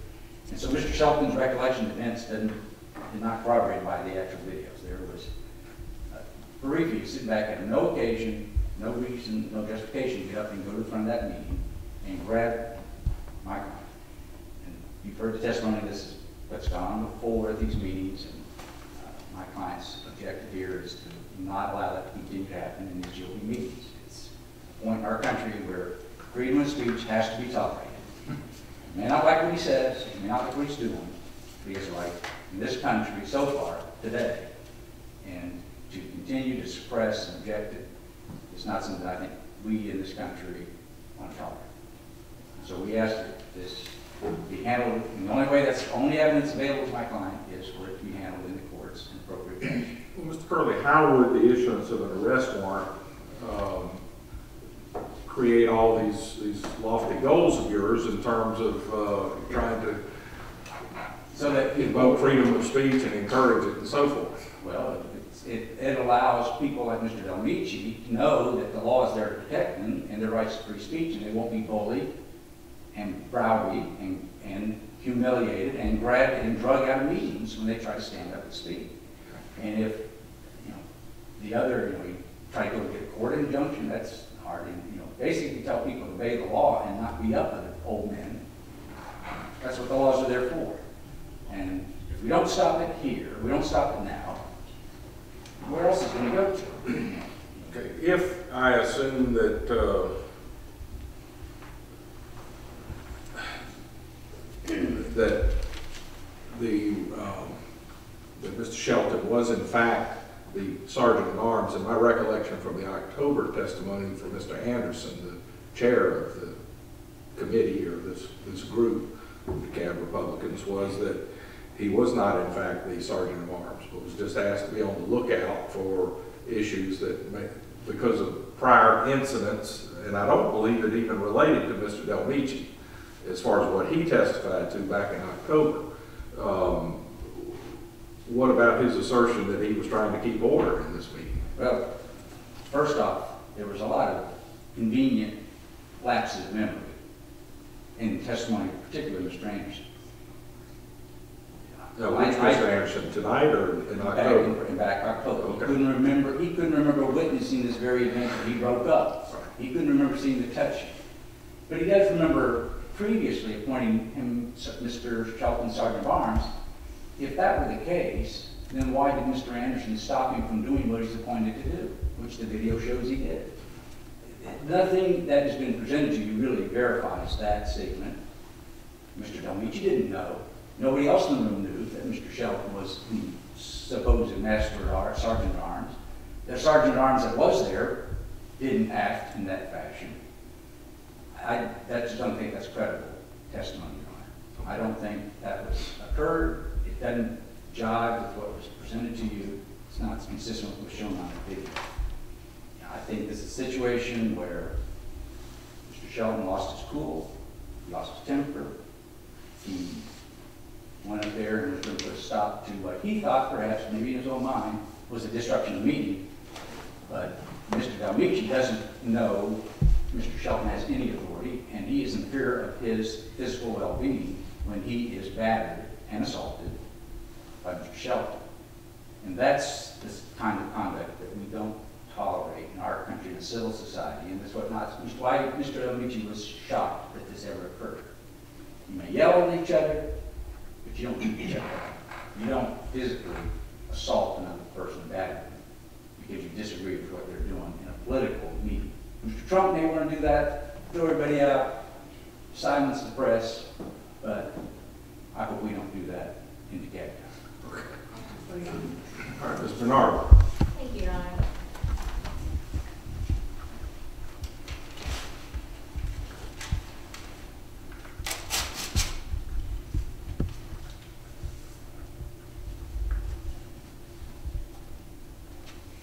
Your Honor, I find myself in agreement with much of what Mr. Curlee said regarding the way we want to do things in our country, and particularly the importance of not stifling any political disagreements. That makes at least three of us. I'm not sure about the rest of them, but that makes three of us. Well, and, and it's clear that the court's patience has been tried by the, the length of this hearing and the fact that it is extended, and we have certainly uh, veered into the realm of uh, arguably relevant subjects, going into detail regarding Bob Lundsten and other folks and their involvement. And I, I believe the court has seen a picture of how messy the political process can be at the party level. But it's very easy when we get caught up in those discussions to forget that we're somewhere completely different than a political party meeting right now. We're in a court of law where you have the authority to have my client put into handcuffs, hauled away into jail, and have his property and liberty taken away from him. This is a completely different level than a political disagreement, and that's what I am afraid is not clear to Mr. Delmichi. He, I'm sure he is well motivated. I'm sure he believes that he is a victim in this case. But what the video clearly shows, what the witnesses clearly show, what the presence of individuals in the courtroom and who they are supporting shows, is that Mr. Delmichi had a habit of disrupting meetings. He may have had good intentions about doing it, but he was extremely disruptive. And in this case, he was so disruptive of a planned event where, where Senator Millar was speaking that even people who have run against Senator Millar, even people who have objected to Senator Millar's voting records, were compelled to stand up to say, you cannot behave this way. You cannot create chaos and disorder in a meeting where other people are there to have their business conducted as well. Mr. Delmichi loves attention. He wants to be the center of attention. If he can't be the center of attention positively, he will look for a way to do so negatively. And that is what this prosecution, if that, if is what it can be termed, reflects, is he was not getting the attention he wanted at the, this meeting, and he is now dragging it out at the expense of Mr. Shelton's potential freedom. So what we have here is not a simple battery. We don't even have probable cause for a simple battery, which of course, as your honor knows, is an extremely low bar. But the statute is quite clear that in order to commit a simple battery, a person must intentionally cause physical harm or intentionally make physical contact of an insulting or provoking nature. There's no dispute whatsoever that my client made physical contact with Mr. Delmichi. And in fact, I think that should be helpful to the court's evaluation of credibility, that at every stage, Mr. Shelton has told a consistent story. From when he volunteered himself and made himself available to go speak to the Dunwoody Police Department, to tell them what had happened, to be candid, sure, could have handled things differently, but I absolutely was not trying to silence him or harm him in any way. In fact, I was trying to de-escalate the situation, and the video makes that clear. The person who escalated the situation, well, frankly, there are two people who bear responsibility for the escalation of that situation.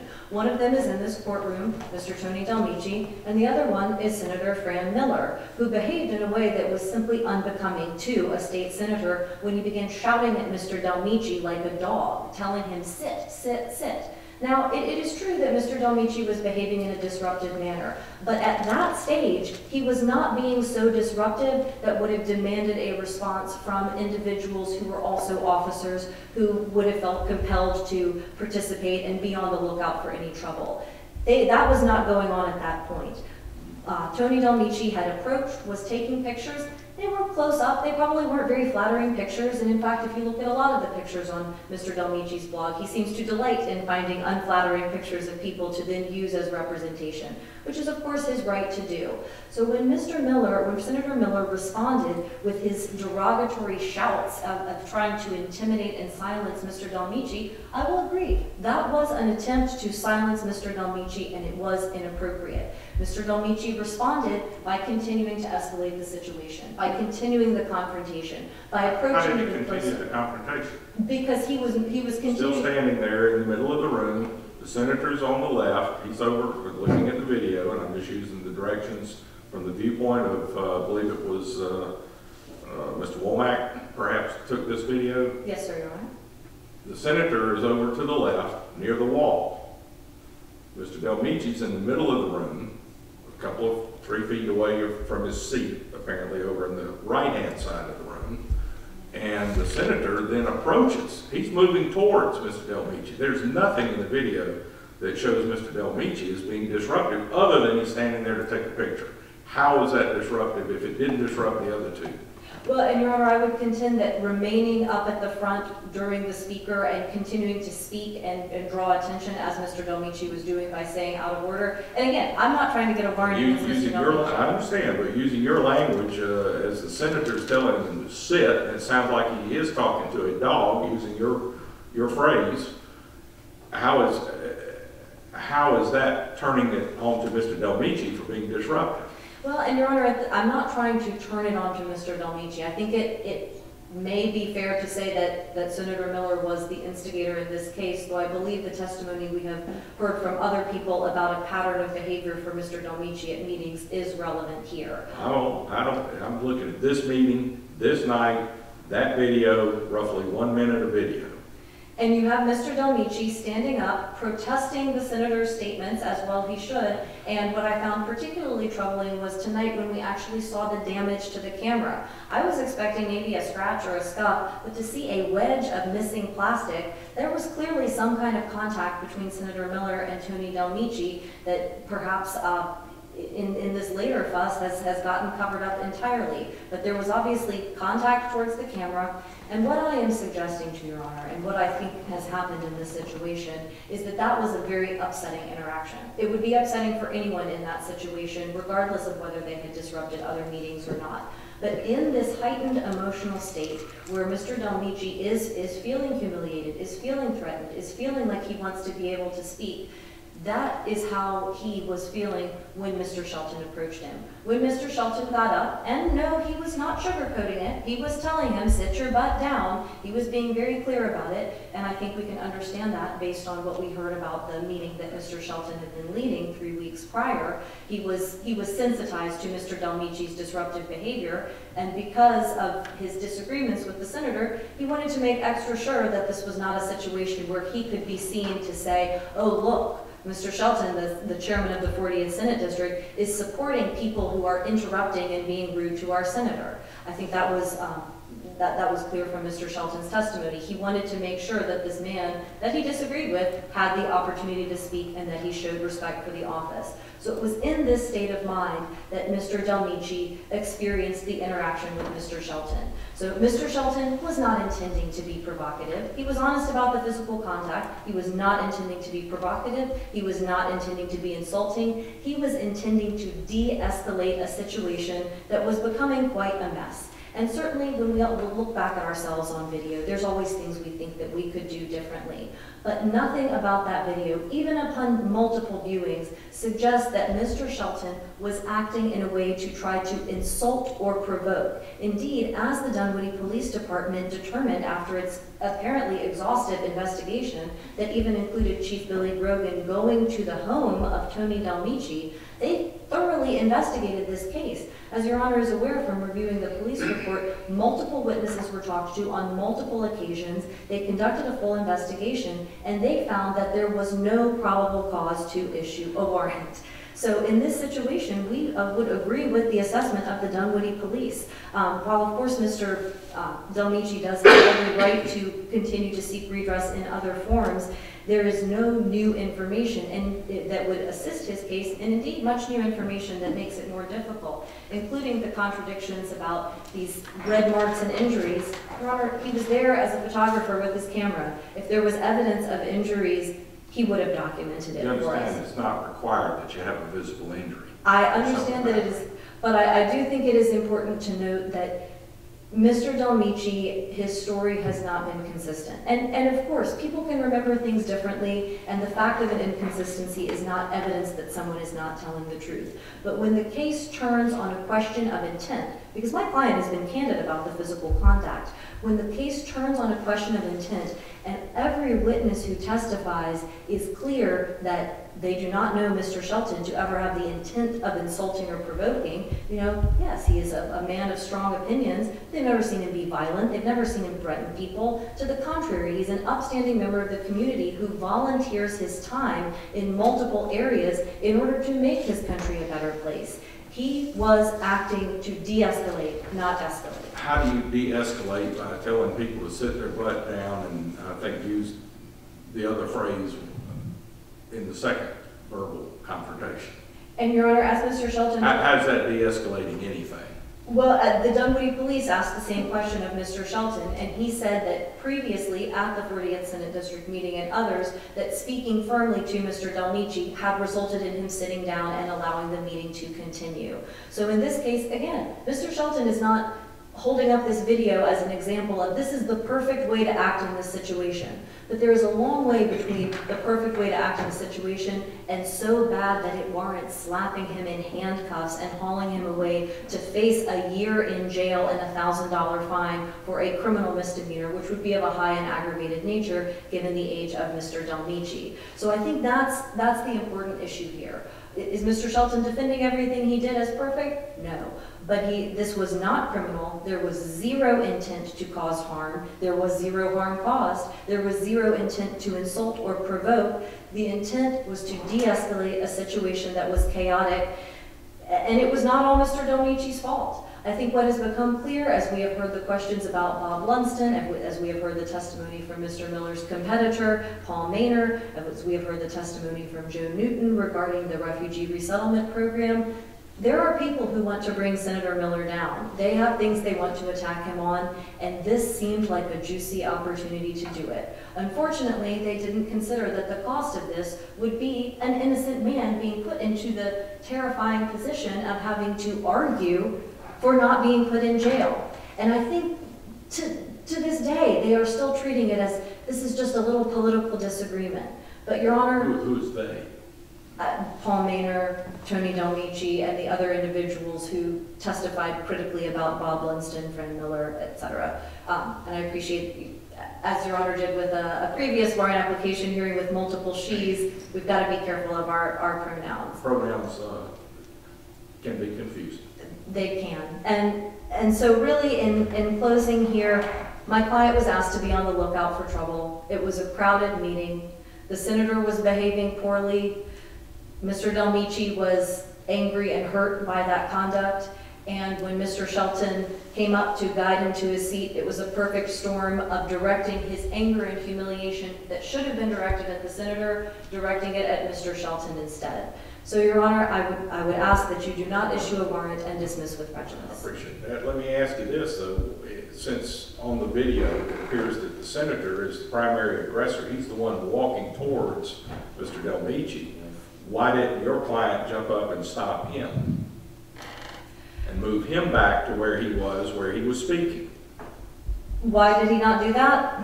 Yeah, instead, he turns on Because- seventy-some, excuse my, AJ, I believe you testified for seventy-some years old, I don't recall how much, but, uh, why, uh, what, what was he trying to disrupt? What was he trying to stop? Did he think Mr. Delmichi was gonna physically jump on the senator? Well, because the senator had the floor at the time, and uh, Okay, he So took he- a picture. He, he was the, well, and he didn't just sit down after the picture. Your Honor could, could see this is a very crowded room with a very narrow strip where the speaker is, and Mr. Anderson, Mr. Dick Anderson testified how close he was to the proceedings. So that, because the floor belonged to Senator Millar at that time. And Mr. Delmichi, by all testimony I've heard, stood up, took a picture.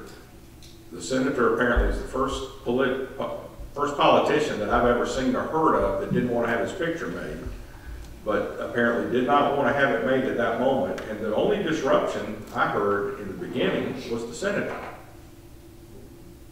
Everybody telling, uh, you know, then he's telling him to sit like a dog. Uh, nobody jumped up except your client.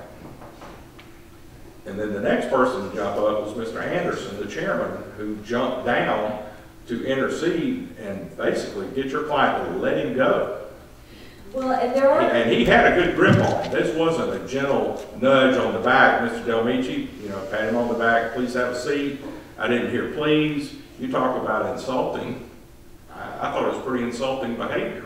What, what's not insulting about the manner in which your client confronted Mr. Delmichi? What's not insulting about that? What's not insulting is that the intention was be quiet. The intention was be quiet and stop disrupting these proceedings as you You've have done it in done. a wonderful fashion. Be quiet. Have a seat, please. Instead, we've got grown men, this is like a a clubhouse brawl going on or starting. It's, it is extremely um, concerning that our, if that's the way the political process works in all the county meetings of any party, I'm not gonna pick on one party over the other, but, uh, you know, that's, that's, that's very concerning. And, and Your Honor, I, I, I share that concern and since we're after ten o'clock, I, I, I share that concern. And in fact, in the police report, it does re- reference some other individuals who were involved, such as First Vice Chair Travis Stegall, who uh, did not respond to some of the calls by the police. I, I think a lot of people kind of just wanted to, to stay out of it as much as possible. And I, I, I think there is a, a lot of reflection to do. I, think there would, it would probably be proper to, to censure the senator for his conduct. But I don't think that a failure to censure the senator's conduct warrants criminal charges against Mr. Shelton, who was attempting to de-escalate the situation. I've heard from ten different witnesses over two hearings, and your assessment of Mr. Delmichi's recollection of the facts, to me, is really no different than my assessment of most of the witnesses that, that I heard from. Everybody saw something different, they were staring right at it and didn't see anything. Uh, everybody had their own version, as we know, that happens a lot, and when an incident occurs, you can ask ten people what they saw and probably get ten variations of the same thing. But, um, how do you explain the physical contact? The necessity of the force with which I saw, and even in the police report, the police, you made an issue of the word drag, Mr. Delmichi was on cross-examination. And I, I know your implication by your questions was that he was physically drugged with his feet dragging along the ground, but whether or not he was drugged or dragged, or whether or not he was forcibly being removed, and I believe that part is in the police report, um, force is force. Where was it justified in this case? Well, Your Honor, I would, I would respectfully disagree with the course, the court's contention that force is force, because in this case, we are talking about physical contact, and the- whether or not it be a matter of force is a question of intent. And Forcefully removed. I'm using the same police report that you've been quoting. Well, I think that was Mr. Delmichi's, the- uh, on that first page, the page six, and that's, uh, suddenly Henly Shelton approached Mr. Delmichi and grabbed him. I think this is Mr. Delmichi's recounting of the situation rather than the police recounting. All right. I believe the police recounting of the situation indicated that, um, certainly there was, I believe exuberant is the word they used, that, you know, it is, it is true, it was, it was an exuberant, um, grab. And Your Honor, and I think what the evidence has shown us is that any exuberance can be attributed to the fact that this is a politically charged situation. And my client, had, with his specific role as the 40th Senate District Chairman, coming off of the previous meeting that he had been a part of, he was concerned about the, the implications of the DeKalb GOP being seen as a place where state senators are heckled and harassed and not allowed to speak on their allotted time. And there is, there is definitely a, a rich irony in the alliances that have been formed for the purposes of this case. There are people who rarely find themselves agreeing with each other, who find themselves agreeing here. But I, again, I must agree with Mr. Curlee. We cannot allow participants in the political process to attempt to use force to silence each other. And unfortunately, that is what Mr. Delmichi is doing here. He was humiliated, he was angry about his interaction with Senator Millar, justifiably so, but he is taking it out on Mr. Shelton, despite the facts not bearing that out. He responded to Mr. Shelton's efforts to guide him back to his seat with a, with a more hurt and humiliated feeling than was accurate, than a reasonable person would have perceived under the circumstances because of the nature of that interaction with Senator Millar.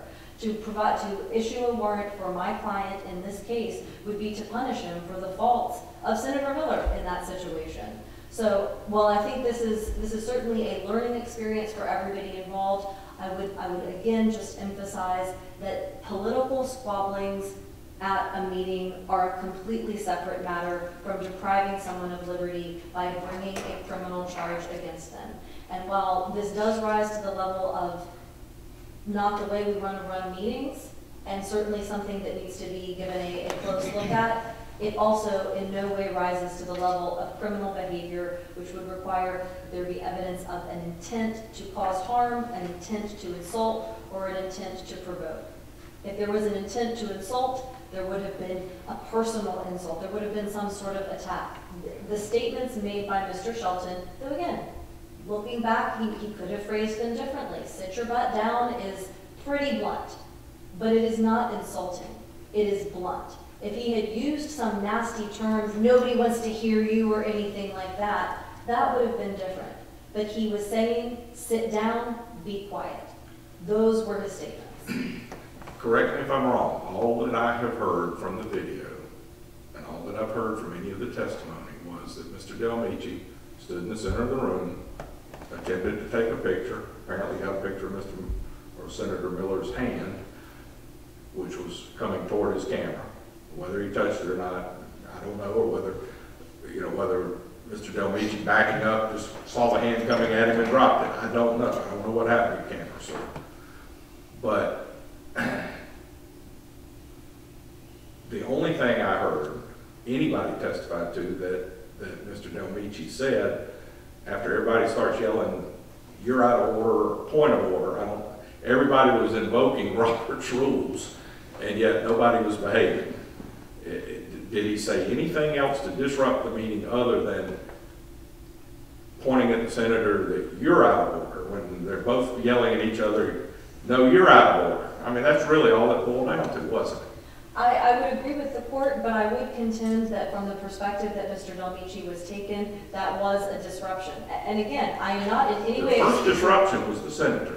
I am not excusing the senator's behavior in any way. He However, did nothing to interfere with the senator speaking, at all.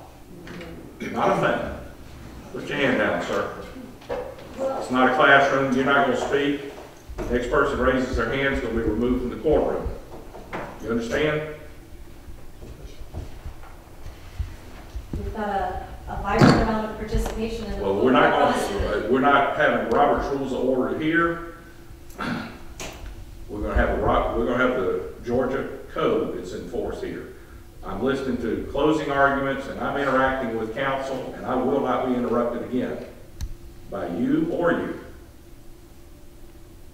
Please continue. And, and thank you, Judge, and, uh, you know, I, I agree with the court that the first disruptor there was the speaker. And that creates, honestly, a, a difficult situation that I, I don't know exactly how Robert's Rules of Order would address when the speaker is the one being disruptive and then you have a person standing up. And if that's, a- if that's a question that you and I can't answer right now, then it's not a question that we should expect Mr. Shelton to have been able to answer within 10 seconds, making that consideration.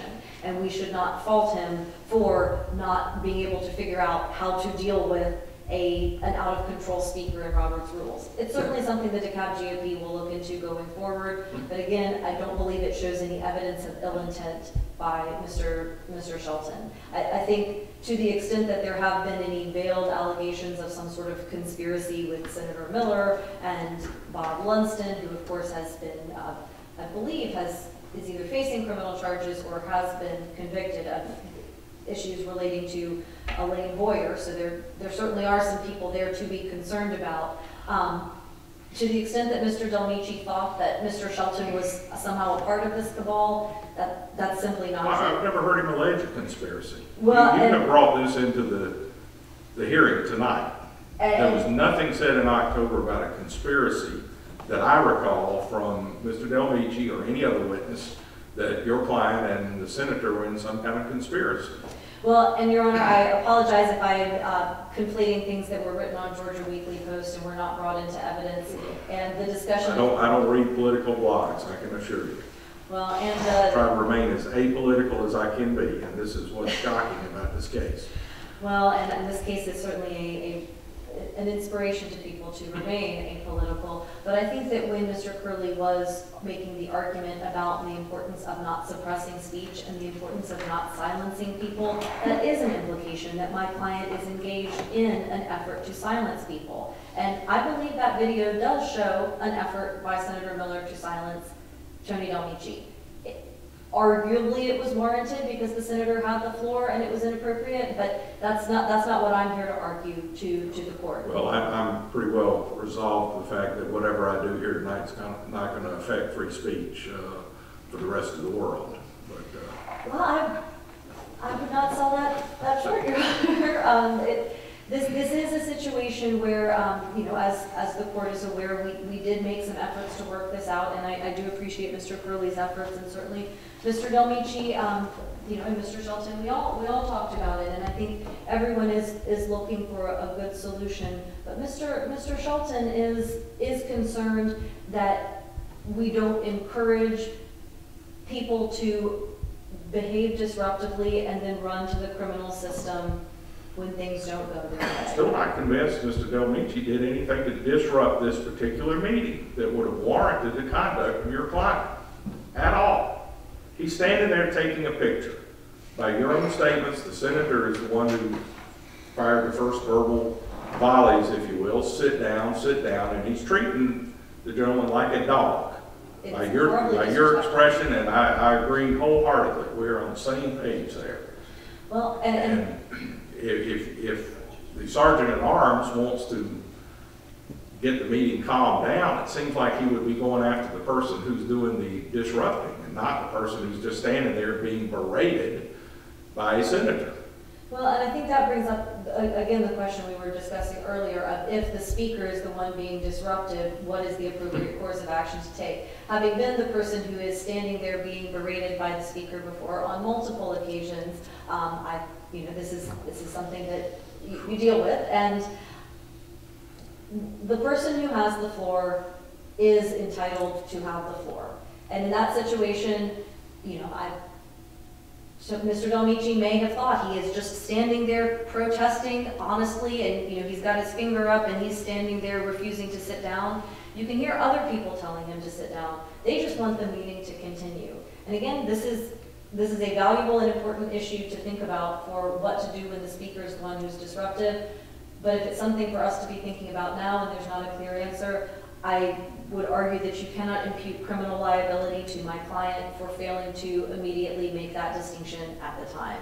I don't, I don't think, even, even if we decided that it was completely correct to, you know, make Senator Millar sit down and give Tony Delmichi the floor in that I don't mean to sit down, but to get things back on track. I mean, as you said, he had the floor, but he was pretty much out of order, I think, yelling at Mr. Delmichi.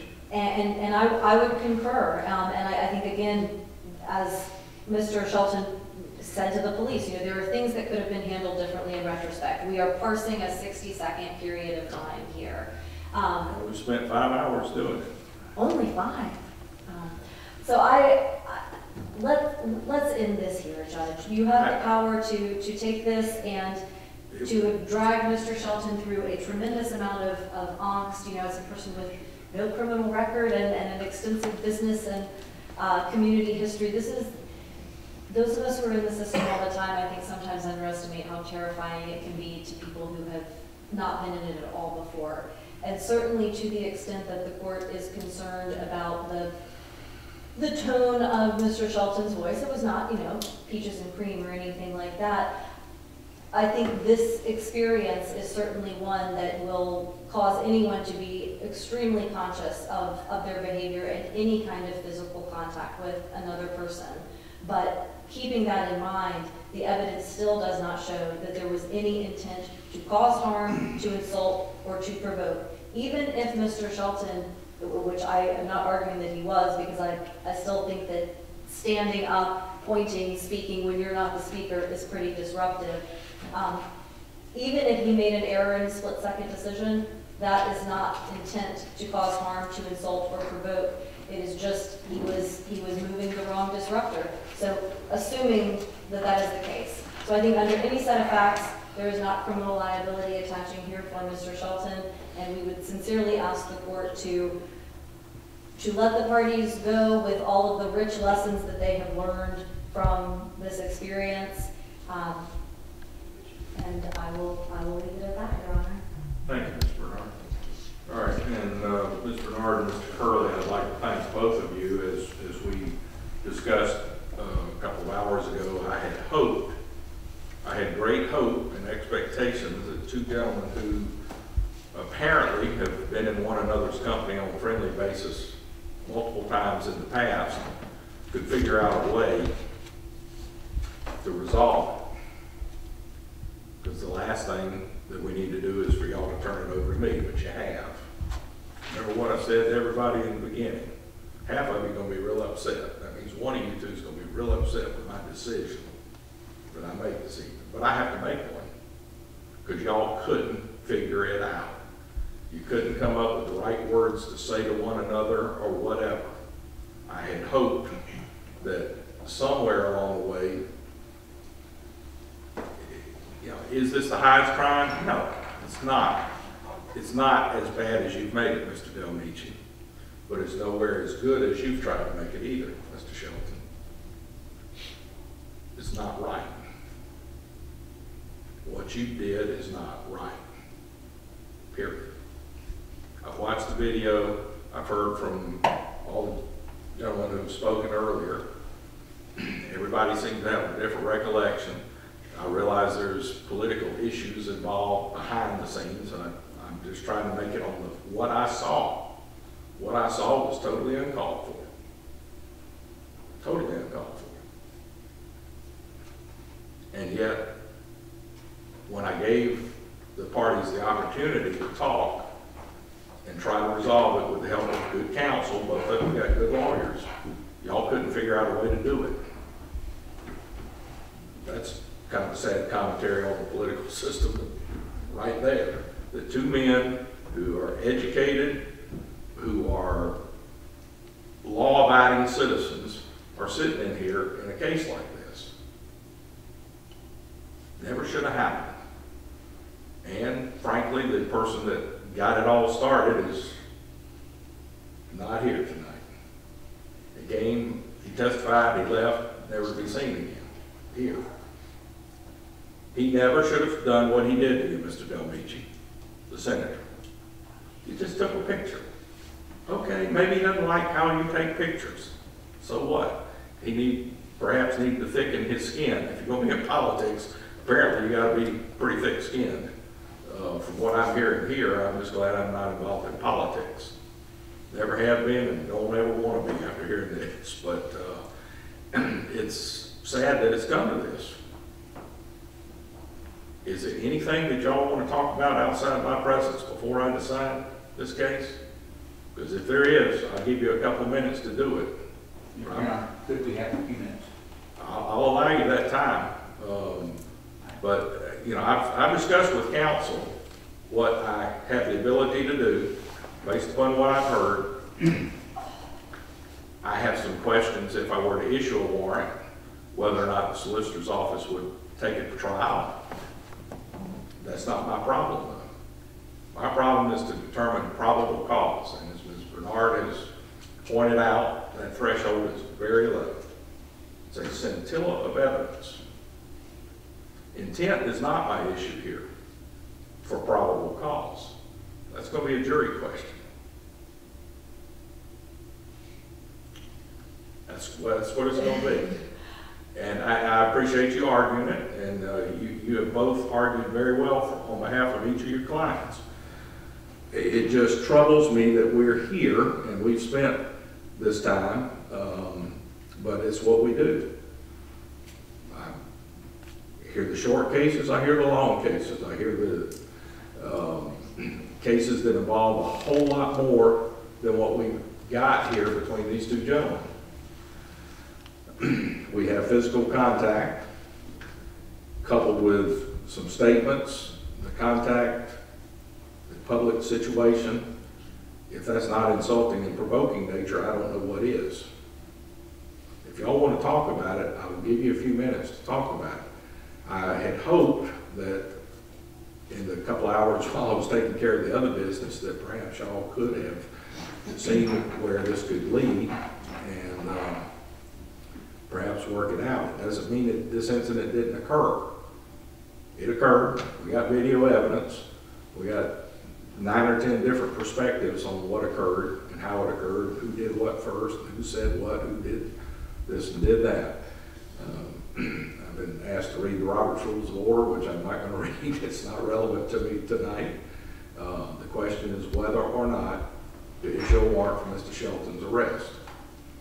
And that's all I'm going to rule on. But if y'all want to talk and see if there's a way, I will give you that opportunity. It's the last, last opportunity. I'm going to give you five minutes. It's now ten thirty, uh, ten twenty-five, I'll give you to ten thirty. And then I'm ruling. Thank you, And Ms. Bernard, here's your copy of the police report. Thank you, Your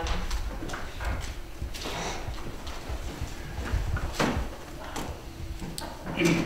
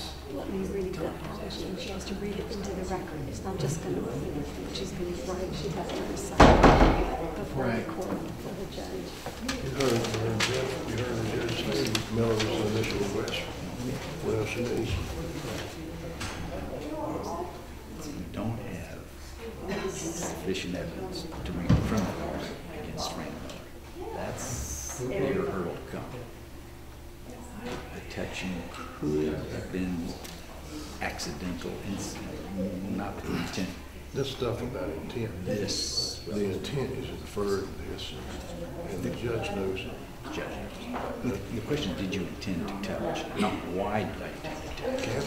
Move the case, which, see, Tony was disrupting Christine two or three three or four times before this happened. She didn't bring it up. She, she shot herself in the foot. There's no index with that.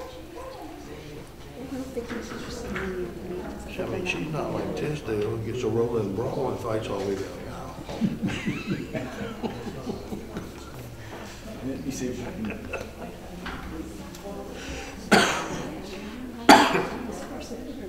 What? Yeah, from Cummings City Council. I know, from, know, from the Republican. uh, Are you a reporter? Sure. This is Pat Fox, this is Joe. I'm Joe Lou. Uh, Hi, What's your name? Pat Fox. Who I used to uh, cover Forsyth County for the AJC. Uh, I'm working freelance now, right now, actually. I'm uh, working for the uh, Georgia Weekly Post. I'm going to write this up. So you working with Tony? Told Tony that I am a reporter tonight. I am not to be bothered by him or, and if I catch him screwing with any of my copy after, I'll never work for him. Henry has one ink, not two. Henry- Man, see this board come to order? Oh,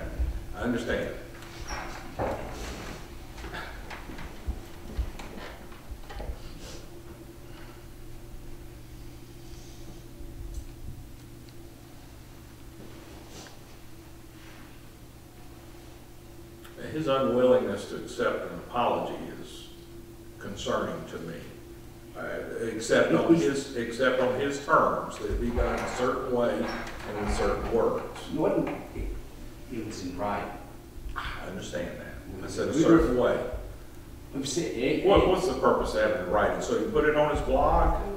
whatever, that's irrelevant, Your Honor. It- Even You if it was oral, would go on a blog or in the newspaper. Press is here to report whatever goes on in this whole entire hearing. I understand. It's going to be in writing in some fashion. My question is, is, you know, it's like sign- stating something under oath.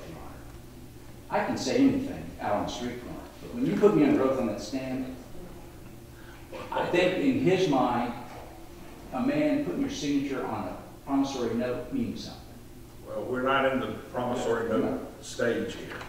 I, all I was looking for was two gentlemen who apparently at least have some common political background as Republican dues-paying members that attend apparently weekly or monthly dysfunctional meetings by a bunch of dysfunctional Republicans who can't get along. And it led to what could be criminal behavior. And I, I had sincerely hoped that because there were no severe injuries other than to his pride or, or, you know, there were emotional injuries or whatever, that perhaps two gentlemen, the, the perfect resolution of this would be two men who have been to each other's house and been riding in a car together could stand there and talk to one another and say, I'm sorry, never should have happened. And that being two men taking the high road and resolving. I, I've, I've given every opportunity to do this. I don't know why it can't be done. Can somebody explain to me why this can't be done? Your client in particular? That opportunity was extended months ago. Okay, I, I get that. It- It's still. Well, we're, we're, we're down, we're down to the, down to the final straw here. This is the eleventh hour, I realize. I am concerned, I didn't hear a lot of remorse out of your client on the stand about, I'm sorry, I wish, I heard, heard you speak of it quite a bit. He wished he had done it a different way. I didn't hear a word out of your client about that. That would have been a good opportunity too. Would have been an excellent opportunity to look Mr. Delmichi in the eye and say, I'm sorry. I'm sorry it happened this way. I got out, you know, I'm sorry. May I speak? No, no, not, not without your client, uh, not without your attorney telling you you can. I- You know, it just, it, it's sad. It didn't happen. Your Honor, if I, if I could just note, it is a, it is a tough situation as the defendant in a warrant application hearing between the balance of resolving the situation and making any admissions that could be aggressively used at a later point. My client has indicated he does wish to make a statement now, if the court would like to hear it, or Mr. Romney would like to hear it. You know, uh, we warn everybody about their right to remain silent. Unfortunately, a lot of people can't. Uh, But, uh, I, you know, I don't want to exacerbate things by him making a statement. that If you believe it's going to be insincerely received, which I suspect is the feeling over here, the feeling over here is that the apology, if anything, is going to be insincerely given. So we're right back where we started. So at this point, all I can do is issue a warrant for Mr. Shelton's arrest. He will be allowed to turn himself in tomorrow, signature bond, thousand dollar signature bond, and that will be up to the solicitor's office to determine the criminal intent involved here. And I'm sorry, Mr. Shelton. I'm sorry, Mr. Delmichi, that y'all are even sitting here. I'm sorry this ever occurred. I'm sorry that it happened the way it did. I'm sorry that someone who lit the fire is not here. They lit the fire and then they left. They're not here. They're not a part of it, other than the the brief testimony that we heard back in October. And I'm sorry to have to do that, but this is my obligation. This is why we have these hearings. Legislature wrote these, these rules that, uh, required us to have a hearing prior to the issuance of a warrant, except in four limited circumstances, none of which apply here. And we have had a thorough hearing for over two periods, uh, from October to now. And all of it boils down to what was on the video. What was on the video is sufficient for me to issue a warrant for Mr. Shelton's arrest. And I'm sorry I gotta do it, in a way. I'm sorry you got to this point, sir. I'm sorry that you are so insistent, sir, that we handled this matter. I wish it could have been handled a different way by everybody. It never should have happened, but it should have been resolved by two men standing there face to face, talking to each other and saying, Tony, gosh, I'm sorry, you know, I'm sorry I did that. I, I, it just got out of hand, and I apologize, and two men could have moved on. This, there's no big injuries to you, sir. I mean, no physical injuries. I know that you're upset about it.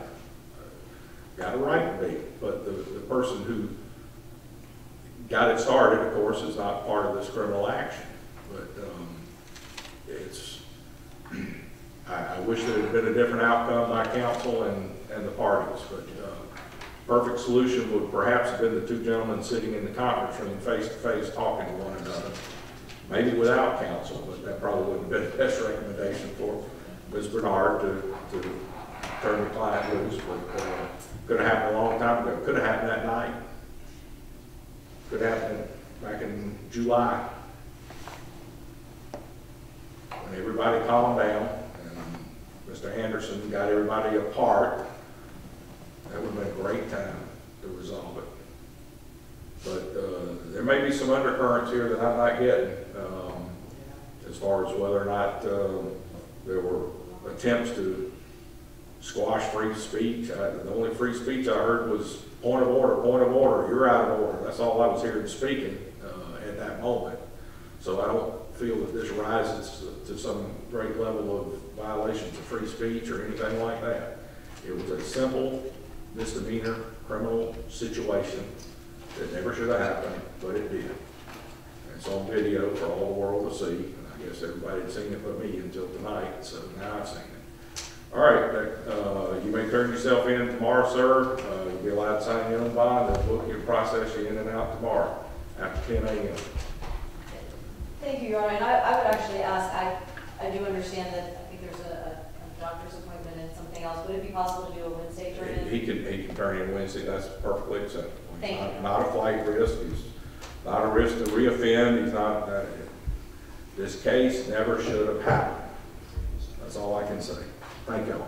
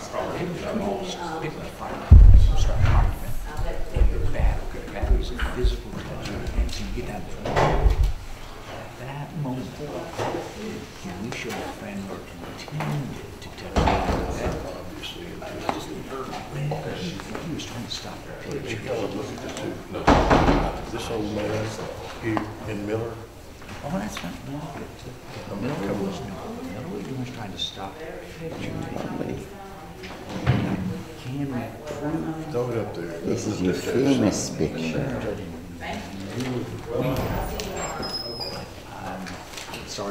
I saw your friend there. What's his name? That I his name. What's the name the I forgot his name. Oh, Mr. Owens. Yeah, I saw him today. I was in the Kaplan.